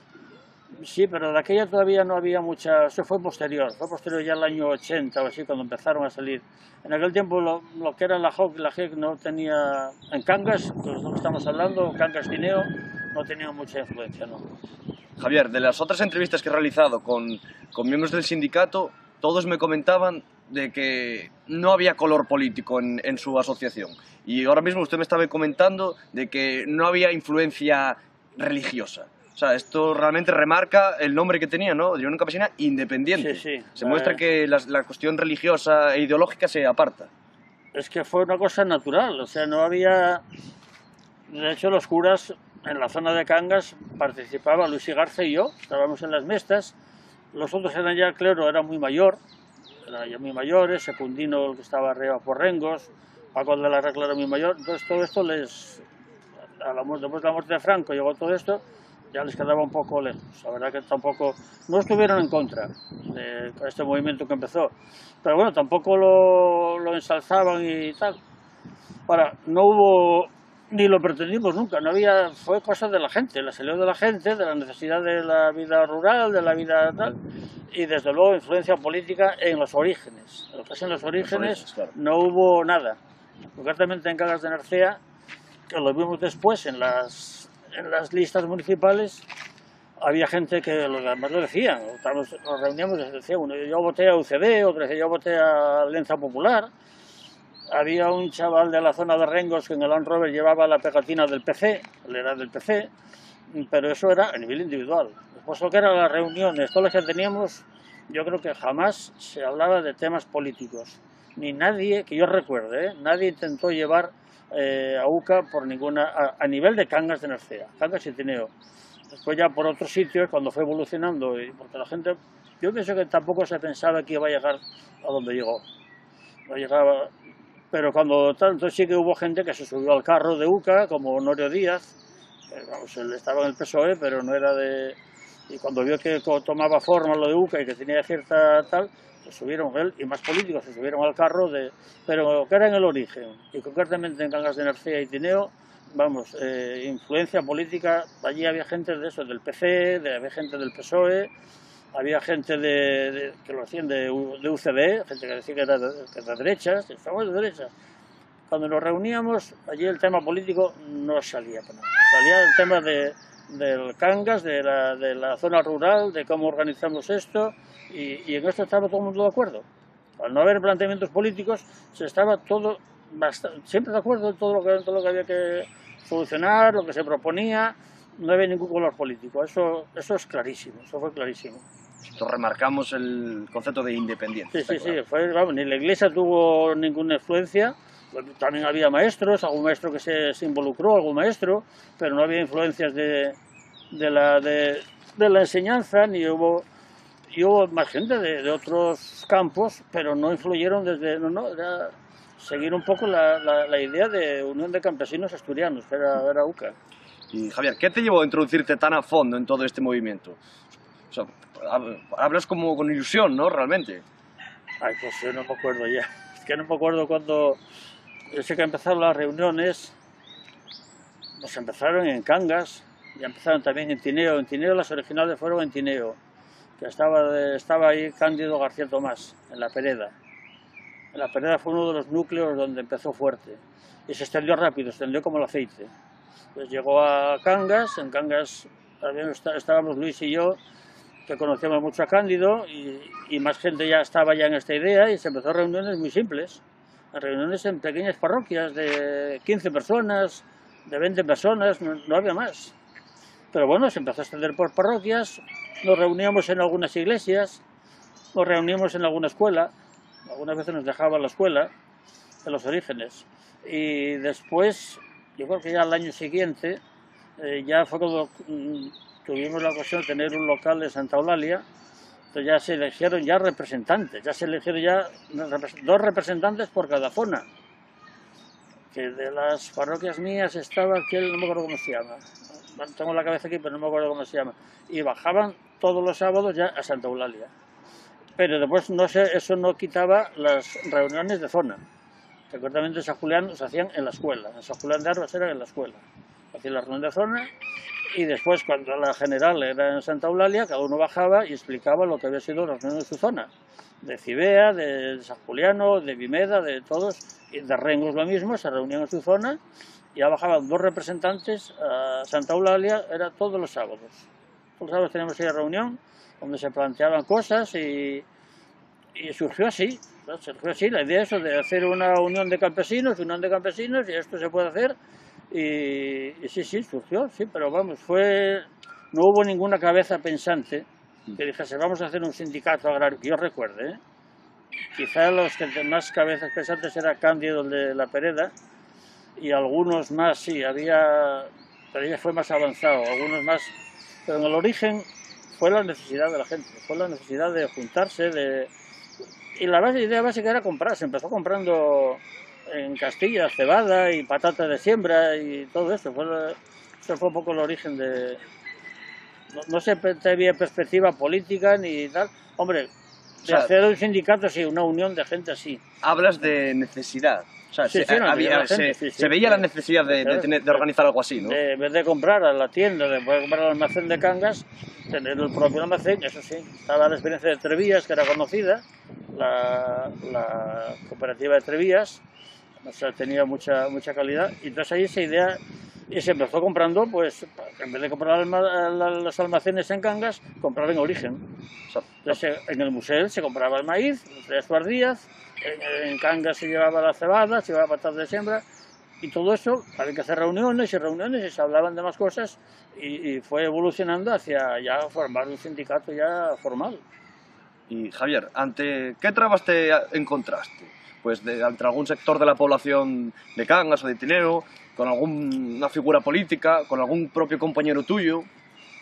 Supongo que... No, hombre, en principio, los, cuando empezó, yo creo que mucha gente pensaba que aquello no iba a ningún lado. Cuando se empezó, se empezó comprando eh, camiones de, de, centeno, se iba a Palencia, me acuerdo un pueblo de Ataquines, y, y se compraba, teníamos el aval de la Caja Rural. El director de la Caja Rural que le interesaba. Le interesaba porque la caja rural eso atraía el dinero de la gente de los pueblos. Entonces fue los primeros viajes iba él con nosotros. Y cuando íbamos a alguna cooperativa por Castilla, pues él decía, bueno, el pago va a la caja rural. Se presentaba como director de la caja rural, era José Luis Somoano, era José Luis, ¿no? Somoano. Sí, que después fue alcalde. Y después fue alcalde, por desgracia pero, pero bueno, él, era una garantía para que se compraba, se traía, la gente pagaba lo que cogía, se pagaba para allá y eso fue un poco la, la, eso, la necesidad de compramos en origen, no porque vamos a comprar aquí en almacén, que ya es un sobrecoste. Y todo esto, además teniendo en cuenta los tiempos de los que hablamos, no levantaba ninguna ampolla hacia sí, alguien. Sí, sí, sí, claro, bueno, los almacenistas en, eh, de las distintas zonas las parroquias mías me pasó, pues no lo veían bien. no lo veían bien porque ¿a dónde vais? Porque, bueno, entonces ya empezó la historia de que sois comunistas y que es toda esta historia. Bueno, pues, y de, a nivel de lo que más eso fue de, de los grandes almacenes que había en Cantas, que había unos cuantos. el intermediario, que se dice. Sí, sí, el intermediario.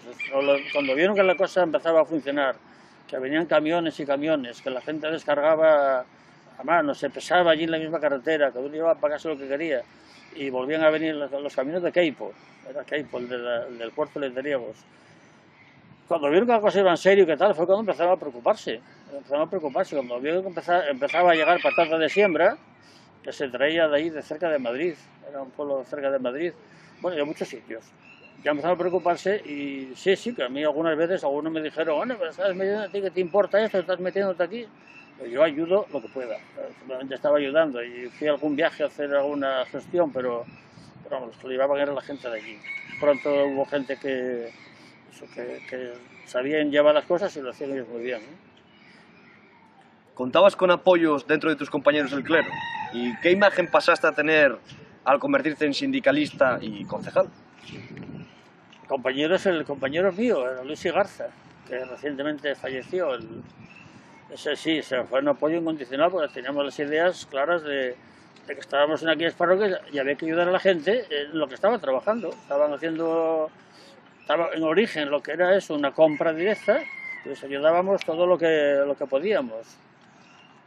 Y en contra, más en contra, más los que eran así más, claro, más mayor, era, no rechazo, pero era, era algo raro para ellos. ¿no? Es que claro. que nosotros nos metiéramos en eso, en eh, reuniones con los paisanos a los sábados por la tarde, o que ir a ver cómo descargaban el maíz o descargaban, pues les extrañaba.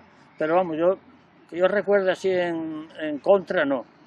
A favor tampoco, porque era clero muy mayor. Entonces, el clero muy mayor tampoco, digamos, que participaba en, esas, en todo esto, no participó, pero en contra no. Y a nivel de políticos, yo recuerdo que nos ayudó bastante, y eso habría que, hay que destacarlo, eh, Antonio Masip. Antonio Masip, la, la mujer era de allí de Cangas de Narcea. Entonces ya fue cuando se forma la candidatura. Cuando se forma la candidatura, eh, toda la parte jurídica, yo fui varias veces a casa del Oviedo, vivía ahí en la calle Asturias, o en la calle, no sé, en la calle de aquellas, y nos ayudó bastante a enfocarlo ya a la parte jurídica.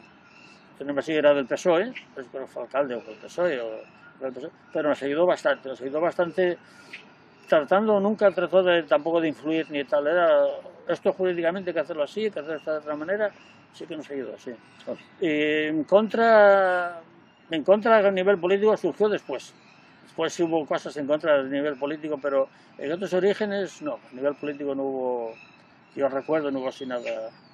Fueron eso, los grandes almacenes de Cangas que sí, se sintieron molestos por comenzar estas gestiones. Y vemos el rápido crecimiento que sufrió todo esto, ¿no? Fue muy rápido, sí. Comentabas de que empezasteis únicamente llevando camiones Sí, y, y en cuestión de... sí, fue muy rápido porque... Ya, ya habíais ya me estabas hablando de Fue- una regla jurídica para montar el- un partido, No, no, la una cosa- candidatura. no, la o- cosa jurídica fue la candidatura. que Candidatura, eso sí. fue después. Eso fue el año 77, las primeras elecciones municipales. Eso fue el 77. o sea, vemos, Pero- que, que pero vamos, triunfó el comienzo- vuestro mensaje, vuestra intención, vemos que caló en, en la Sí, zona, sí, ¿no? eso, el- la idea fue que lo que empezó trayendo algo tal, pronto, rápidamente, bueno, hubo que los camiones de pues, no bastaban. Tenía unos cuantos camiones que llevaba Caolín a, a Guadalajara y a la vuelta ya traían pienso, ya se traían patatas de siembra. Después aquí en el Musel, a través de Suar Díaz, que es un importador mayorista, igual nos avalaba la caja de ahorros y de maíz. Entonces entraba ya por toneladas, eran camiones y camiones y aquello fue creciendo, creciendo de una manera que, bueno, que había que estar casi todos los días reunión, no sé qué, pues la gente tenía que pagar, según se pesa y se iba a pagar, se pagaban, pagaban la caja de ahorros para hacer la transferencia y en, en muy poco tiempo, sí, aquello fue, era casi todos los días eh, trayendo material de todos los lados. Y, y cuanto más se traía, eso es verdad, hubo mucha gente al principio que era un poco, no lo veían claro, mucha gente de nuestras parroquias y de otras no lo veían muy claro, el uso de UCA y todo esto, pero cuando vieron cómo que funcionaba y que había que trabajarlo, ¿eh? había que esperar por el camión, descargarlo, llevarlo tal, pero cuando vieron que funcionaba a nivel económico y sobre todo a nivel social. O que la gente se reunía por- en su parroquia, después a la Junta General en Cangas, que eran los sábados, entonces hubo más cosas en relación entre unos pueblos y otros, entre valles, o bajaban de, bajaban de sierra, bajaban de la zona de Rengos, bajaban de la zona nuestra, de, de- entonces se juntaba mucha gente de, muchos sitios, y a nivel social eso aquello unió mucho a la gente. Y de esa unión de la gente, de ir conociéndose de fulano y tal, tal, mucha gente que al principio tenía un poco de, como de desconfianza o tal, esto no sabe cómo salir, cuando vieron que funcionaba y que llegaba, llegaba material y la gente trabajaba y había que trabajarlo, empezó a crecer, sí, fue cuando empezó a crecer y yo creo que llegó a tener cerca de 2.000 socios, creo que llegó, recuerdo así, de, no, cerca de 1.000 socios llegó a tener. Ya- Ya veo que comentas de que llegó un momento que de reuniones prácticamente la mayoría de los días, de trabajar. eh, entonces, para alguien que, además que no es campesino como tú, ¿dónde adquieres esta mentalidad y esta concienciación y empatía hacia el campesino asturiano? Eso surgió allí, eso surgió allí porque yo, bueno, yo no soy de Gijón, pero yo vivía en Gijón, toda la vida viví en Gijón, estudié en Oviedo, y al ir allí, pues conocí el campo, conocí la gente, y era todos los días en casa de unos, en casa de otros, y, se hablaba de esto, que fue al poco de llegar. Llegamos en el 75, 75 todavía estaba el sindicato vertical, que no me acuerdo cómo se llamaba, aquello, una hermandad de, bueno, tal. Y con el 76 ya se empezaba, ya empezó a formarse todo esto, el 76, sí. En el 77 creo que fueron las elecciones municipales.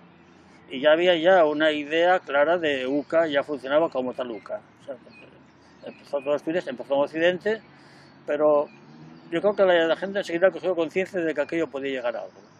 Sobre todo lo más, yo lo que me recuerdo con mucha cosa fue el reunirse gente de, bueno, de las parroquias en su parroquia. Nos solían dejar la escuela, la escuela del pueblo o la, o la, o no, la iglesia. Y después cuando ya esto empezó a crecer y cada zona tenía gente que se reunía, ya se acordó eso, dos representantes de cada parroquia que bajar a Cangas y verse todos los sábados, que eran todos los sábados. ¿eh? Y, y entonces ahí se planteaba lo que cada uno traía de su parroquia, los planteamientos que tenía, y ahí se discutía todo y se iba cogiendo forma, pero fue, era todo muy... Yo creo que no se levantaba acta de nada. Si mal no recuerdo, no se levantaba acta. Las actas se empezaron a levantar cuando la cosa fue creciendo y pedimos para reunirnos la casa sindical Sí. que tenía una, una sala, una sala bien grande, curiosa y tal. Entonces yo creo que ahí ya se, había, ya se levantaba acta de lo que se acordaba. Pero las primeras reuniones en Santa Eulalia, pues era llegar y lo que se hablaba, lo que, habla- lo que cada vecino traía lo que hablaba en su zona y se proponían cosas, pues tal, y pues ya se empezaba, cuando se empezó a traer mercancía, pues sí, ya se empezaba ya a mirar lo que se trajo. Pero en principio era muy, muy informal, era muy, mucha espontaneidad muy informal, inicios, ¿no? todo infor- sí, se iban, cosas iban surgiendo y según iban surgiendo, pues iban viendo soluciones a un problema de solución y eso yo creo que fue una pena no haber hecho un libro de actas de las primeras reuniones en Santa Eulalia, que fueron las, yo creo que no había. Y en, en la sindical sí, en la sindical yo creo que ya se le tomaba nota, en una libreta se tomaba nota de los acuerdos que se, que, que se hacían, sí. Y Javier, ha llegado a mis manos, mediante, de parte de un sindicalista de cadenas que tú conoces, una hoja parroquial en la Noticiero del Occidente, si no me equivoco. Sí, noticia de Occidente. En Noticiero del Occidente, en la que se compagina pues, la palabra católica con la palabra sindicalista. ¿Qué papel cumplía esta hoja, Javier? Y logró dar sus frutos. Sí, sí, sí, la hoja aquella fue fundamental. La hoja fue fundamental. La hoja, la hoja comenzó en Trevías, se llamaba Noticia. Yo había estado en Trevías el año 74 y era en Trevías. Trevías después hizo una gran cooperativa y, y estaba dedicada temas religiosos, era hoja parroquial y estaba dedicada al campo. Después eh, se metió también en la zona de hacia Luarca, se extendió hacia Luarca y La Espina. Entonces se cambió el título y de Noticias se pasó a llamar Noticias de Occidente. Era de carácter quincenal. Entonces había temas religiosos, pero fundamentalmente eran temas eh, relacionados con el campo. Con el campo. Todo prácticamente de noticias, había mucho de noticias. Entonces se contaba de cosas de que pasaban en Luarca, que pasaban en, La Espina, que pasaban en Cangas. Nosotros salir para Cangas, la llevamos para Cangas, para toda la zona nuestra, y se llegaron a hacer yo creo que unas 2.500 hojas. O sea que llegaba a 2.500 Cada 15 familias. días, ¿no? Cada 15 días llegaba a 2.500, sí. Que después estuve en La Espina y ahí estaba la imprenta y me tocó hacerla a mí. Mm. Cambiamos la imprenta porque ya era una muy vieja y hacíamos 2.500 ejemplares cada 15 días y se repartía hasta Luarca, después Luarca lo dejó, Luarca ya era más villa y como era todo tema, mucho tema agrario, pero bueno, también tema religioso, claro, temas sociales, tema de pues el médico de Muñaz, que una vez nos denunciaron por, eh, con la central lechera, pues hablaba de todo, O sea, de todo lo y- que había Entonces había dureza, ¿no? Había Sí, parte bueno, crítica, ¿no? Era una parte crítica muy seria y muy fundada. Y cada uno llevaba la experiencia de su parroquia. Entonces, que si el médico de Muñaz no estaba por allí o no atendía, pues venía la información y la plantábamos en la hoja. Y, con la central lechera, pues también tuvimos no sé qué problema, no me acuerdo cuál fue, pero nos denunció y, tuvimos que, pagarle no sé cuánto fue de la multa. Y con el, con el médico de Muñaz hubo que hacer una rectificación. ¿no? No sé cómo terminó un juicio y del mismo tamaño una rectificación porque por lo visto atendía muy bien a la parroquia, aunque los vecinos decían que no. Pero bueno, sí, algún problemilla de eso, pero bueno, fueron anecdóticos. ¿eh? De... Ahora, la- una hoja bastante crítica, bastante... Sí, esa, esa hoja la hacíamos los curas de allí. Nos reuníamos en el crucero, en el crucero, en la restaurante del crucero, y después se pasó a reunirse en la espina. Entonces sí, tenía un carácter bastante crítico, pero sobre todo enfocado al, al campo, a la mejora del campo, a, ya se hablaba claramente de... Eso es posterior, ¿eh? Hablo ya de, de posterior, era el tema sindical y tal, pero con el origen de UCA, Sí. el origen de UCA, ya es- esta hoja ya funcionaba. Sí, todos Y- la conocían, todos la conocían todos. sí. Esta- sí, sí, ya, ya se conocía. Y evidentemente tuvo una influencia, una influencia grande, sí. Allí escribía gente artículos por su cuenta, se firmaban sobre la unidad, de- unidad entre los campesinos. Se escribió bastante, fue, fue muy importante, sí, eso no cabe duda. Javier, tu involucración en todo este proceso fue total. Llegaste a ser concejal. Y una vez alcanzado este puesto, ¿qué medidas como político tomaste? Bueno, eso fue ya otra historia, porque después, cuando ya estaba, es que en un año se fortaleció y se, llegaron las primeras elecciones municipales, yo creo que fue el año 77, creo. Y se decidió, pues, pues ya que estamos formando esto, ya estábamos temprano, pues hay que ir a una, al ayuntamiento. Las decisiones se toman al ayuntamiento. Y se planteó la posibilidad de hacer una candidatura ya también se lo estaban planteando en, todo, el resto de Asturias. Pero candidatura como Unión de Campesinos Asturianos, UCA. Unión de Campesinos Asturianos. Después en cada Asturias se llamó, se llamó Unión Campesina Independiente. Independiente, sí, independiente, la, sí. la- la Campesinos Independiente. Y nada, se formó, nos reuníamos en Cangas, en el Barriesco, allí al lado de, en el Barriesco, en el comedor, que nunca había nadie, nos reuníamos allí ya preparando la candidatura. Entonces la candidatura, lo teníamos claro, era buscar personas que tuviesen relevancia de, la- de las distintas zonas. Entonces, eh, ¿quién hay, por ejemplo, en la zona de Rengos, que era, pues, conocíamos un chaval que era minero, que era muy conocido, que era muy tal, tal, y fuimos a hablar con él y le propusimos que si quería entrar a la candidatura, él era del PC, y, pero eso no nos importaba nada, que fuera del PC o de lo que fuera. Y dijo que sí. Y después en Besullo eh, fuimos a ver al panadero, que tenía ese era el panadero, que era, era más importante de Besullo. Panadero tenía la tienda, no sé qué tenía por ahí, y también dijo que sí. En algunos sitios nos apoyamos también en maestros, algunos maestros nos apoyaron. Y después en cada zona se buscaba, más bien eso, gente que viéramos que era gente buena, pero conocida, que tuviesen, que por su estilo de vida o por cosa familiar tuviesen representación. Y así formamos la candidatura. Y después me proponen que vaya yo. Que vaya yo. Y dije, no, yo, no- yo en esto no estoy para nada. Pues ya de reuniones, pues se planteó, hombre, que sí, que tienes que ir, que tienes que ir. Y, y yo, entonces yo se lo pregunté al obispo, digo, mire, usted sabe que yo estoy en lo de la cooperativa, yo voy al tiempo aquí trabajando y dice, sí, sí, no, me parece muy bien. Que ahora quieren que me meta en la candidatura en la, del ayuntamiento. Entonces le expliqué cómo era. Es una candidatura independiente donde participa gente de izquierdas, de derechas, gente que no es de ningún partido. Estamos en el año 77, hacía dos años que había muerto Franco, gente que no es nada y queremos... Y me acuerdo cuando Gabino me dijo, bueno, pues yo, yo iría a un puesto bajo, un puesto de, apo- un puesto de apoyo, ¿eh? Tampoco... Y contábamos sacar uno o dos concejales, era lo que calculábamos, uno o dos. Entonces yo iba con el número 5 Y- el número y 5 salió, ¿no? y sacamos 6. Sacamos 5 de primeras, reclamamos en dos o tres zonas, reclamamos los cuentos y sacamos 6. Entonces lo dije a Bocavino y dije, bueno, resulta que íbamos puesto 5 pero salí. Y solo me dijo, bueno, pues haz lo que puedas y tú trabaja lo que puedas. Si puedes trabajar algo por aquí, la gente de ahí arriba de tal, que el campo está muy desamparado, si puedes hacer algo, pues bueno, pues haremos lo que se pueda. Se contaste con el beneplácito Sí, del sí, obispo. sí, el obispo siempre me apoyó, sí. Así como, por ejemplo, el cura de Llanera, que iba por UCD, le dijo que no. Y el cura de La Espina, eh, que iba por, por el MC, el MCA, el Movimiento Comunista de Asturias, le dijo que no. que por- él no quería que fuera por partidos. Le dije, esto es una candidatura independiente, les expliqué bien quiénes iban y tal. Y me dijo, pues nada, así me dijo, pues tira para adelante. Y tira para adelante y salimos, salimos concejales, sí. Sacamos seis y el alcalde. Lo- Otro, fue otro problema, encontrar un número uno, no encontrábamos un número uno. Y al final se le propuso este al director de la Caja Rural, Somoano. Somoano aceptó encantado, encantadísimo. La Caja Rural subió como la espuma, subió como la espuma, pero vamos, aquello fue tal. Aparte que nos avaló para muchas cosas, ¿eh? Sí. Pero vamos, el Somano, por ejemplo, decía que él era votante de la Alianza Popular. Eh, Pero bueno, él era un director de Caja Rural que era conocidísimo y era un buen número uno.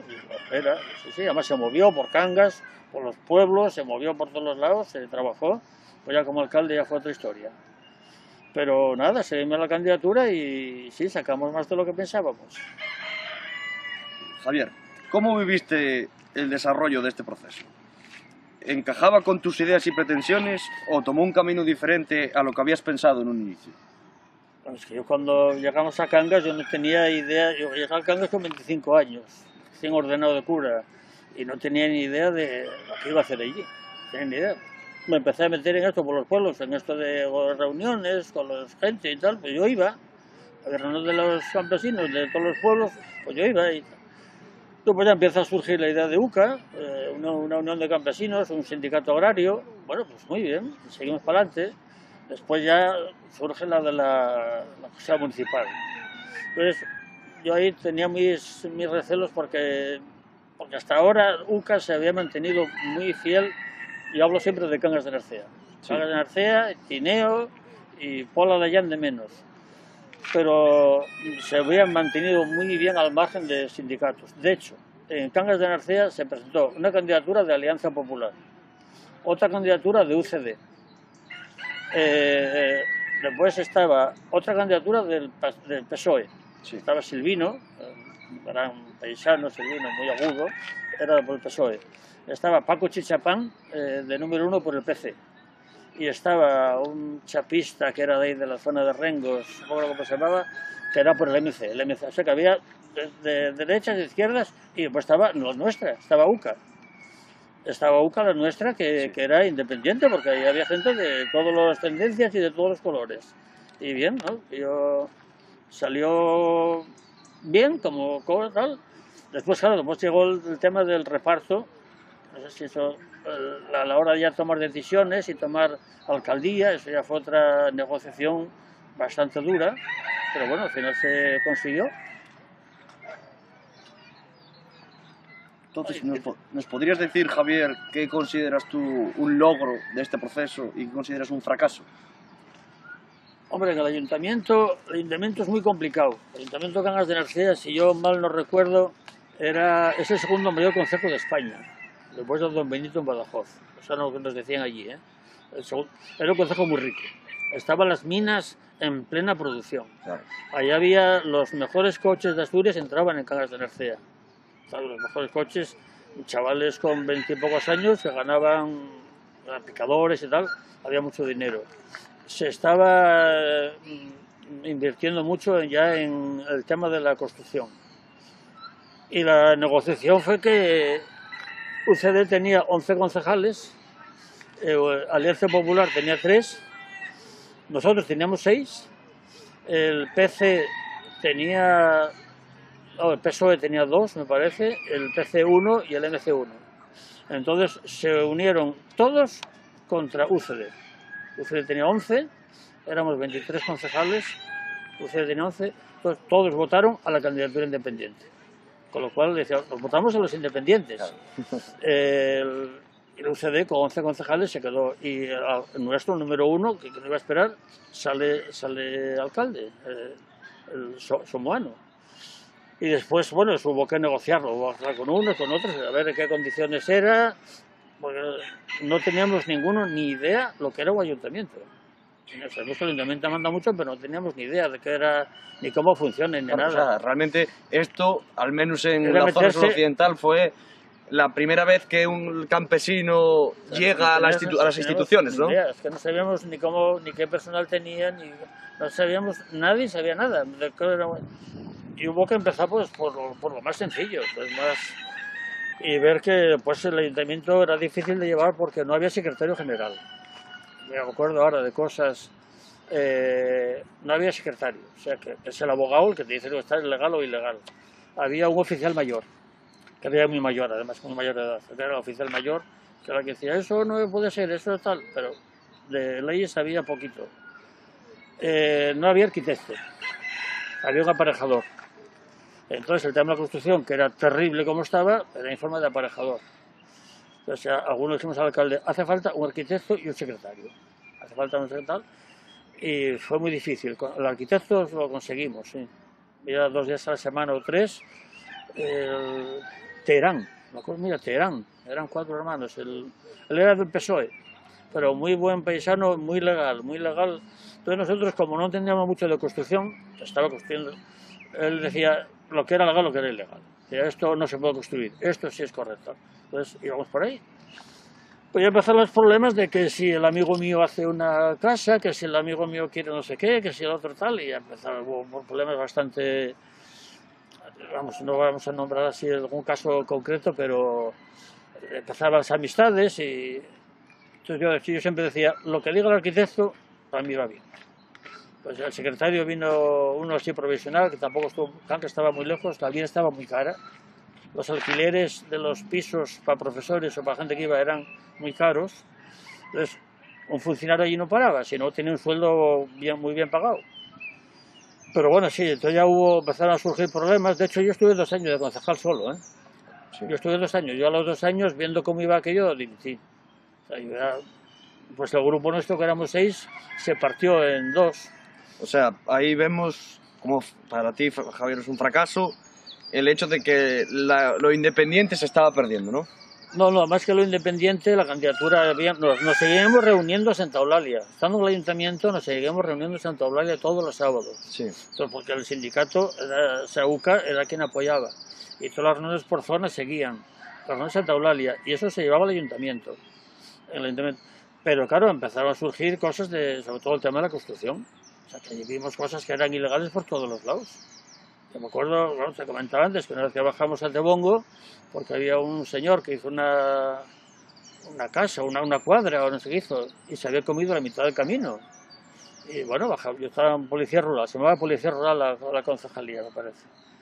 Y bajamos ahí con el Land Rover del ayuntamiento y yo no dije, hombre, visto desde aquí ya se ve que se mete mucho en el camino. Le dije a los compañeros que iban allí, y se le hizo con una escopeta y diciendo que ustedes salen de aquí o salen por delante, que y nos metemos para Land Rover y fuera para allá. Eso fue un detalle muy simple, ¿no? De que cada uno hacía lo que quería. Lo único que hicimos, bueno, mejor ahora, fue la gestión del hospital.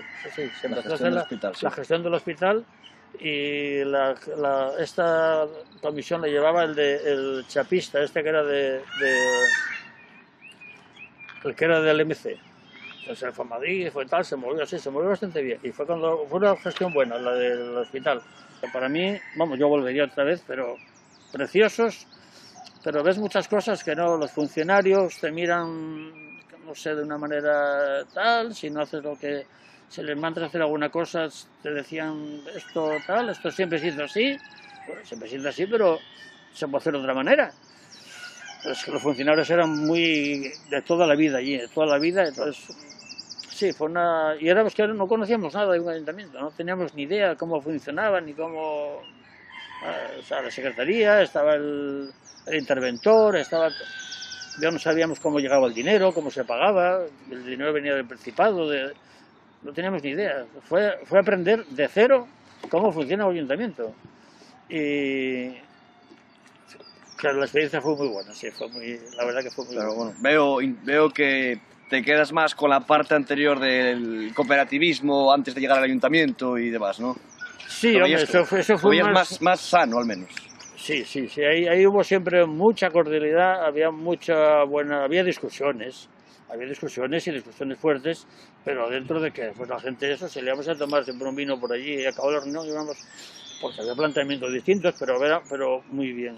O sea, planteamientos de discusiones que siempre aprendías algo. Aquí fue una experiencia muy buena. Al ayuntamiento igual, ¿eh? Yo, tengo experiencia, yo marché del de ayuntamiento con la cosa de que era amigo de todos, incluso del alcalde. Era muy amigo de che, Paco Chichapán, que no sé si habrá muerto ya, porque ya pasado muchos años, de panadero. Era una persona que no había estudiado, pero era muy, ilustrado. Se leía mucho, me encantaba hablar con él. Con Silvino, el del PSOE, pues yo me llevaba muy bien con él, tomar algunos vinos, era un, un avispado, era un listillo, era...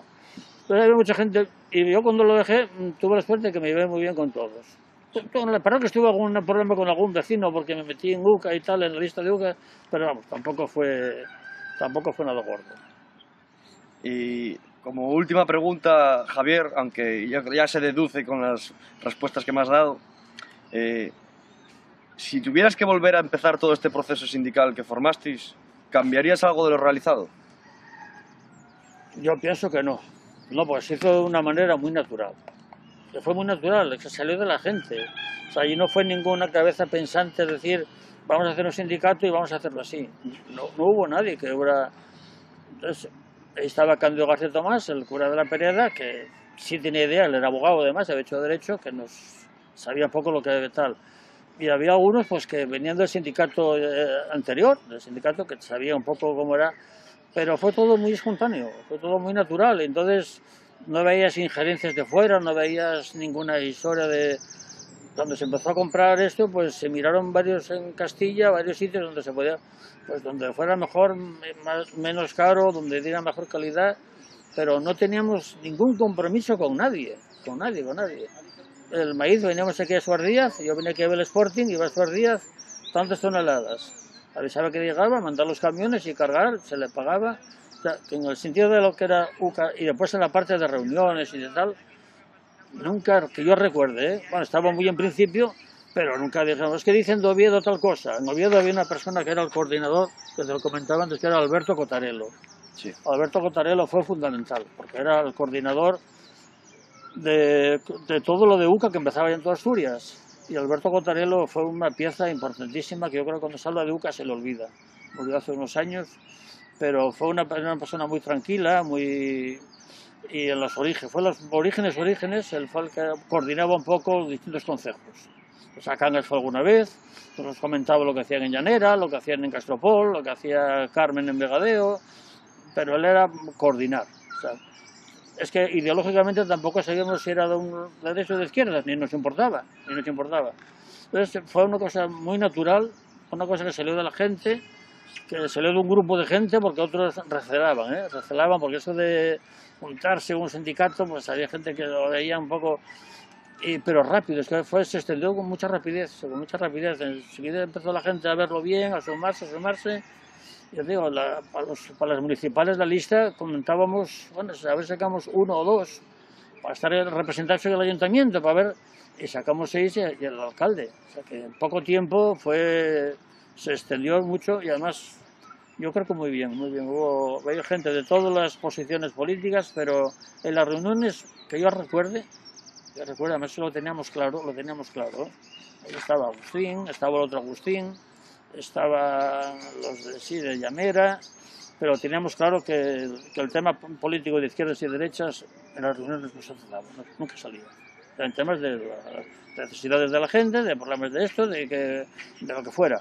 Pero el tema político, no, que yo recuerde, no hubo influencia de, de ningún lado. Aunque después sí, de verdad que después los dirigentes de UCA ya posterior, yo marché para después marché por la espina y sé que sí, hubo, se metió Neuro Díaz, se sumó al carro cuando UCA ya estaba funcionando.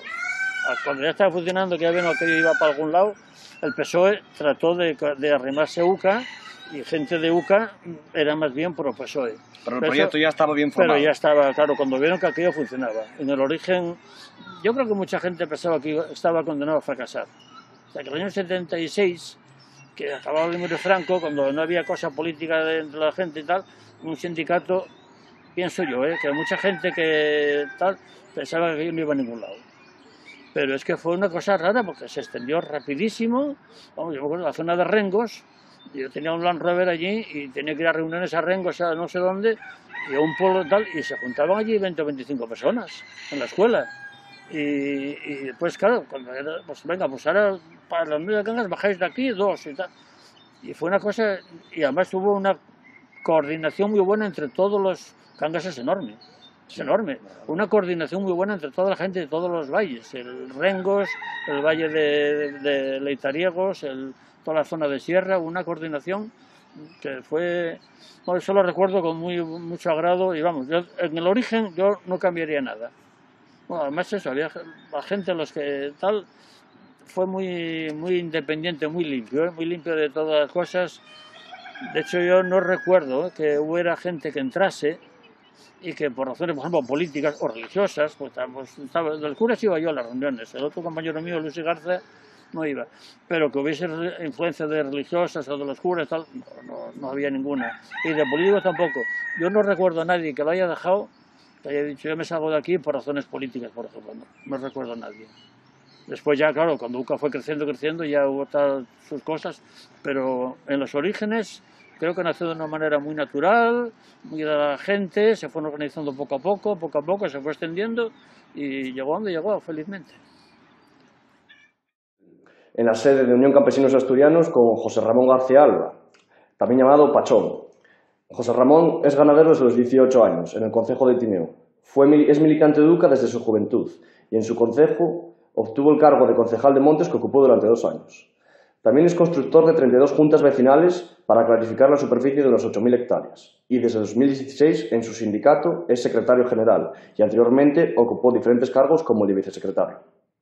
Eh, bueno, José Ramón, ahora hecha la presentación voy a hacerte una serie de preguntas. ¿Tú qué recuerdos tienes de todos estos tiempos de, en los que yo me centro, de la época post-dictadura en la que el sindicalismo empezó a ebullir? Bueno, cuando aquello, para poder echar a andar, estamos hablando que ainda no había ni siquiera democracia. Eh, fue una época muy dura en la que tuvimos que, bueno, lo que tenemos nadie nos lo regaló. Eh, cuando aquello, como las capturadas de la Semana Blanca, como pues, muchísima labor en el medio rural en, en, su época, cuando, cuando bueno, había muchísima actividad en el medio rural. Eh, desgraciadamente ahora pues somos menos ya. Claro, las condiciones del campesinado, ¿cuáles serían? Hombre, ahora mantenemos el número de animales, pero reducimos muchísimo las ganaderías. De hecho, que estamos en mil y pico de leche, eh, ¿entiendes? Y perdiendo a 100 por año. Eh, bueno, pues antes era, esto era impensable, ahora queda una por pueblo. Antes había 10 o 12 ganaderías en cada pueblo. Entonces, bueno, a la hora de, de, hacer movimientos eran muchísimo más numerosos que lo que puedes hacer ahora. Ahora que viniéramos todos, no haríamos una manifestación como la que hacíamos en aquella época, ¿entiendes? ¿Y cómo se encontrabais el campesinado después de la dictadura? Estabais desamparados totalmente, ¿no? Hombre, no, no, había, no existía no sé, una asociación, una manera de reivindicar, algo, de proteger vuestros derechos, ¿no? Claro, claro, cuando aquello, bueno, pues hay que pensar de que para poder venir a Oviedo había que venir andando. Prácticamente no había ni vehículos.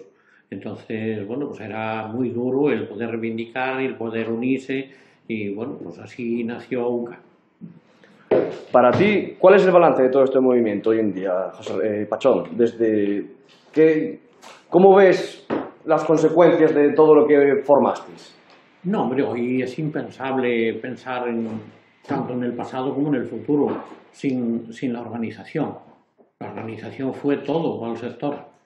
Eh, bueno, pues hacemos desde declaraciones de la renta, asesoramientos jurídicos, eh, bueno, pues prácticamente todo lo que necesita el ganadero. Aquí llama por la mañana y a media mañana tiene solucionado el problema si, si de mano nuestra está, ¿entiendes? Entonces, bueno, eso antes era impensable, evolucionamos muchísimo.